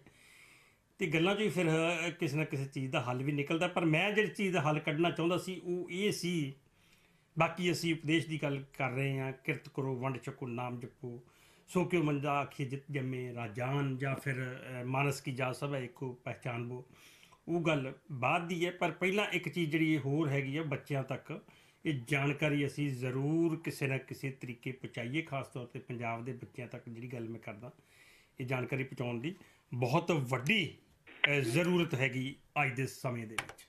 ਬ੍ਰੇਕ ਤੋਂ ਬਾਅਦ ਫਿਰ ਤੁਹਾਡੇ ਨਾਲ ਗੱਲਾਂ ਬਾਤਾਂ ਕਰਾਂਗੇ, ਦੇਖਦੇ ਰਹੋ, ਜਸ ਪੰਜਾਬੀ। ਜੀ, ਬ੍ਰੇਕ ਤੋਂ ਬਾਅਦ ਹਾਜ਼ਰ ਹੈ ਇੱਕ ਵਾਰ ਫਿਰ ਤੇ ਗੱਲਬਾਤ ਜਿਹੜੀ ਚੱਲ ਰਹੀ ਤੁਹਾਨੂੰ ਪਤਾ ਹੀ ਹੈ ਕੱਲ ਦੀ ਵੈਸੇ ਤਾਂ ਇਹੋ ਜਿਹੀਆਂ ਗੱਲਾਂ ਭਾਵੇਂ ਸਾਰੀ ਜ਼ਿੰਦਗੀ ਕਰੀ ਜਾਈਏ ਤਾਂ ਵੀ ਥੋੜੀਆਂ ਨੇ ਜਿਹਦੇ ਨਾਲ ਕੁਝ ਨਾ ਕੁਝ ਸਿੱਖਣ ਨੂੰ ਮਿਲਦਾ ਜਿਹਦੇ ਨਾਲ ਕੋਈ ਨਾ ਕੋਈ ਸੇਧ ਮਿਲਦੀ ਹੈ। ਸੋ ਕਾਲਾ ਲੈਣੇ ਤੁਹਾਡੀਆਂ ਕੀ ਵਿਚਾਰ ਨੇ? ਹੈਲੋ ਹੈਲੋ ਹੈਲੋ ਹਾਂਜੀ ਸਤਿ ਸ਼੍ਰੀ ਅਕਾਲ ਭਾਈ ਸਾਹਿਬ। ਜੀ ਸਤਿ ਸ਼੍ਰੀ ਅਕਾਲ ਜੀ ਬਹੁਤ ਬਹੁਤ ਸਵਾਗਤ ਜੀ ਹਾਂਜੀ। ਹਾਂਜੀ 550ਵੇਂ ਗੁਰਪੁਰਬ ਦੀਆਂ ਸਾਰੇ ਮੇਰੇ ਵੀਰਾਂ ਭੈਣਾਂ ਨੂੰ ਸਾਰਿਆਂ ਨੂੰ ਬਹੁਤ ਬਹੁਤ- ਵਧਾਈਆਂ। ਬਹੁਤ ਵਧਾਈ ਜੀ ਪਰਮਾਤਮਾ ਸਭ ਨੂੰ ਚੜ੍ਹਦੀ ਕਲਾ ਚ ਰੱਖੇ। ਹਾਂਜੀ। ਤੇ ਜਿਹੜੀ ਗੱਲ ਤੁਸੀਂ ਆ ਬੱਚਿਆਂ ਵਾਲੀ ਕਰਦੇ ਆ ਨਾ ਜੀ। ਮਤਲਬ ਵੀ ਜਦੋਂ ਆਪਾਂ ਵੀ ਬੱਚੇ ਸੀਗੇ ਉਦੋਂ ਆਪਾਂ ਨੂੰ ਵੀ ਕੁਝ ਨਹੀਂ ਸੀ ਪਤਾ ਜਿੰਨਾ ਚਿਰ ਸਕੂਲ ਚੌਥੀ ਪੰਜਵੀਂ ਦੇ ਵਿੱਚ ਜਿਵੇਂ ਉਹ ਲੇਖ ਆਉਣ ਲੱਗਦੇ ਸੀਗੇ। ਪਤਾ ਲੱਗਦਾ ਸੀ। ਤੇ ਸਾਡੇ ਮਾਪਿਓ ਕੋਲੇ ਵੀ ਟਾਈਮ ਨਹੀਂ ਹੁੰਦਾ ਸੀਗਾ ਨਾ ਹੀ ਉਹਨਾਂ ਨੂੰ ਸ਼ਾਇਦ ਉਸ ਟਾਈਮ ਤੇ ਪਤਾ ਹੋਊਗਾ ਕਿ ਘਰ ਦੀਆਂ ਕਬੀਲਦਾਰੀਆਂ ਜਿਹੜੀਆਂ ਹੈਗੀਆਂ ਉਹ ਜਿਵੇਂ ਕਹਿੰਦੇ ਹੁੰਦੇ ਆ ਨਾ ਆਪਣੀ ਦਾਲ ਰੋਟੀ ਦਾ ਹਰ ਇੱਕ ਨੂੰ ਹਰ ਇੱਕ ਦੀ ਲਾਈਫ ਬੜੀ ਜਿਹੜੀ ਹੈਗੀ ਆ ਨਾ ਉਹ ਹੁੰਦੀ ਆ ਮਤਲਬ ਕਿ ਉਹਨਾਂ ਕੋਲੇ ਨਹੀਂ ਟਾਈਮ ਹੁੰਦਾਗਾ ਕੋਈ ਚੀਜ਼ ਦੱਸਣ ਦਾ। ਤੇ ਸਾਨੂੰ ਇਸ ਗੱਲ ਦਾ ਫਿਕਰ ਵੀ ਨਹੀਂ ਕਰਨਾ ਚਾਹੀਦਾ ਜਦੋਂ ਜਦੋਂ ਬੱਚੇ ਵੱਡੇ ਹੁੰਦੇ ਆ ਨਾ ਆਪਣੇ ਆਪ ਸਾਰੇ ਬੱਚਿਆਂ ਨੂੰ ਜਿਵੇਂ ਸਾਨੂੰ ਤੇ ਸੋਨੂੰ ਚੀਜ਼ ਪਰਮਾਤਮਾ ਆਪੇ ਹੀ ਦੱਸਦਾ ਏ ਸਭ।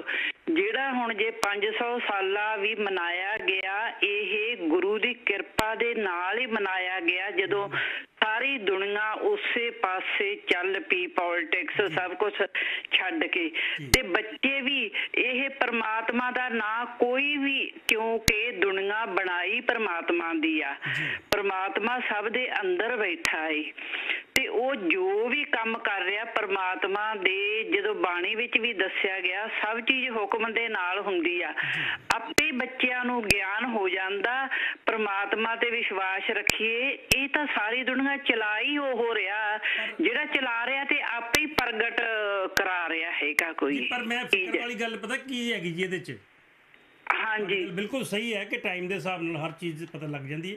ਪਰ ਫਿਕਰ ਵਾਲੀ ਗੱਲ ਇਹ ਹੈ ਕਿ ਸਾਡੇ ਵੇਲੇ 6ਵੀਂ 7ਵੀਂ ਤੋਂ ਲੇਖ ਜਿਹੜੇ ਨੇ ਸਾਡੇ ਗੁਰੂ ਸਾਹਿਬਾਨਾਂ ਦੇ ਕਿਤਾਬਾਂ ਦੇ ਵਿੱਚ ਹੁੰਦੇ ਹਾਂਜੀ। ਅੱਜ ਕੱਲ ਉਹ ਲੇਖ ਸ਼ਾਇਦ ਵਿੱਚ ਨਹੀਂ ਹੋਣੇ ਮੇਰੇ ਖਿਆਲ ਜਿਹੜਾ ਬੱਚੇ ਨੂੰ ਨਹੀਂ ਹੋਣਗੇ ਤਾਂ ਸੀ। ਮੈਂ ਤੁਹਾਨੂੰ ਆਪਣੀ ਗੱਲ ਦੱਸਦੀ ਆ ਇਹ 25ਵੇਂ ਸਾਲ 'ਚ ਮੇਰਾ ਵਿਆਹ ਹੋਇਆ। ਹੈ ਜੀ ਤੇ 25 ਸਾਲ ਤਾਈਂ ਮੈਂ ਗੁਟਕਾ ਨਹੀਂ ਸੀ ਦੇਖਿਆਗਾ। ਮੈਨੂੰ ਨਹੀਂ ਸੀ ਪਤਾ ਦਰਬਾਰ ਸਾਹਿਬ ਦੇ ਅੰਦਰ ਕੀ ਲਿਖਿਆ ਹੋਇਆ ਏ। ਸਾਡੇ ਜੈਤੋ ਗੁਰਦੁਆਰਾ ਸੀਗਾ ਜਦੋਂ ਸਾਡੇ ਪੇਪਰ ਹੁੰਦੇ ਨਾ ਤੇ ਜੁੱਤੀ ਲਾ ਕੇ ਗਰਮ ਗਰਮ ਉਹ ਫਰਸ਼ ਹੁੰਦਾ। ਭੱਜੇ ਭੱਜੇ ਜਾਂਦੇ ਮੱਥਾ ਟੇਕਣ। ਬਾਬਾ ਜੀ ਸਾਨੂੰ ਪਾਠ ਕਰਦਾ ਪਾਸ ਕਰ ਦਿਆ ਜੀ। ਇੱਕ ਆਹੀ ਗੱਲ ਸਾਨੂੰ ਆਉਂਦੀ ਸੀ ਇਹ ਬਾਬਾ ਗੰਗਸਰ ਵਾਲਿਆ ਸਾਨੂੰ ਪਾਸ ਕਰ ਦੇ ਚਲੋ ਠੀਕ ਹੈ ਜੀ। ਸਾਨੂੰ ਬਿਲਕੁਲ ਨਹੀਂ ਸੀ ਪਤਾ। ਇਸ ਲਈ ਮੈਂ ਨਹੀਂ ਜੇ ਮੈਨੂੰ ਨਹੀਂ ਪਤਾ ਸੀ ਤੇ ਕੋਈ ਨਹੀਂ ਸਾਰੀ ਦੁਨੀਆ ਨੂੰ ਉਹ ਮਾਲਕ ਰੱਖਣ ਵਾਲਾ ਏ। ਉਹ ਮਾਲਕ ਹੀ ਸਭ ਨੂੰ ਆਪਣੇ ਮਗਰ ਲਾਉਣ ਵਾਲਾ ਏ। ਕਿਉਂਕਿ ਬੈਠਾ ਹੀ ਸਭ ਦੇ ਅੰਦਰ ਆ। ਜੀ ਚਲੋ। ਮਿਹਰਬਾਨੀ। ਹਾਂ। ਮਿਹਰਬਾਨੀ ਬਹੁਤ ਜੇ ਜੇ ਕਿਤੇ ਉਹ ਬਾਹਰ ਹੋਵੇ ਨਾ ਫੇਰ ਤਾਂ ਉਹਦਾ ਫਿਕਰ ਕਰੀਏ ਅਸੀਂ। ਜੀ ਜੀ ਜੀ ਜੀ। ਉਹ ਤਾਂ ਬੈਠਾ ਹੀ ਹਰ ਇੱਕ ਰਾਗ ਰਾਗ ਦੇ ਵਿੱਚ ਹਰ ਪੱਤੇ ਦੇ ਵਿੱਚ ਜਿਵੇਂ ਉਹ ਝੂਲਦਾ ਪਿਆ ਤੇ ਸਭ ਨੂੰ ਉਹੀ ਉਹੀ ਮਾਲਕ ਆ। ਤੇ ਉਹੀ ਕਰਤਾ ਧਰਤਾ ਏ। ਮਿਹਰਬਾਨੀ ਜੀ ਬਹੁਤ ਮਿਹਰਬਾਨੀ। Hello hello hello Jaggi Sahib. ਹਾਂਜੀ ਹਾਂਜੀ ਹਾਂਜੀ ਪੈਰੀ ਪੈਨਾ ਜੀ ਹਾਂਜੀ ਕੀ ਹਾਲ ਚਾਲ ਮਸੀ ਜੀ?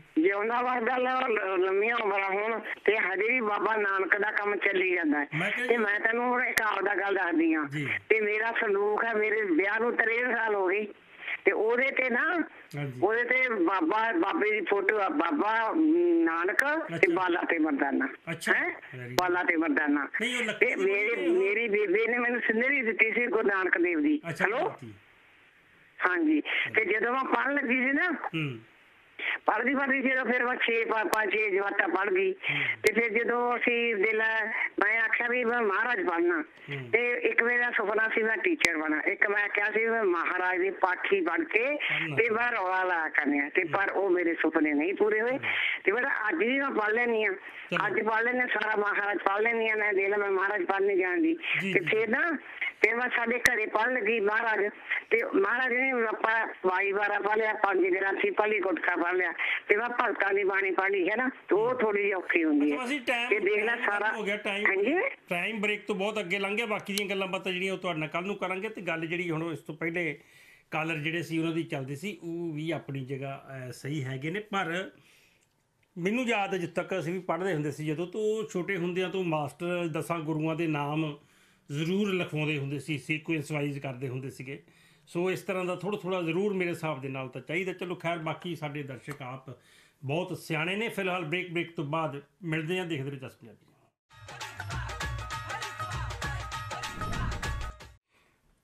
ਜੀ ਪ੍ਰੋਗਰਾਮ ਦਾ ਆਖਰੀ ਪੜਾ ਤੇ ਬਹੁਤ ਘੱਟ ਸਮਾਂ ਜਿਹੜਾ ਉਹ ਬਚਿਆ ਤੇ ਕਦੀ ਕਾਲ ਲੈਣ ਦੀ ਕੋਸ਼ਿਸ਼ ਕਰਦੇ ਹੈਲੋ। ਹੈਲੋ ਸਤਿ ਸ਼੍ਰੀ ਅਕਾਲ ਜੀ। ਜੀ ਸਤਿ ਸ਼੍ਰੀ ਅਕਾਲ ਜੀ ਰਾਜਕੁਮਾਰ ਜੀ। ਤੁਹਾਡੀ ਆਖਰੀ ਕਾਲ ਹੋਏਗੀ ਜੀ।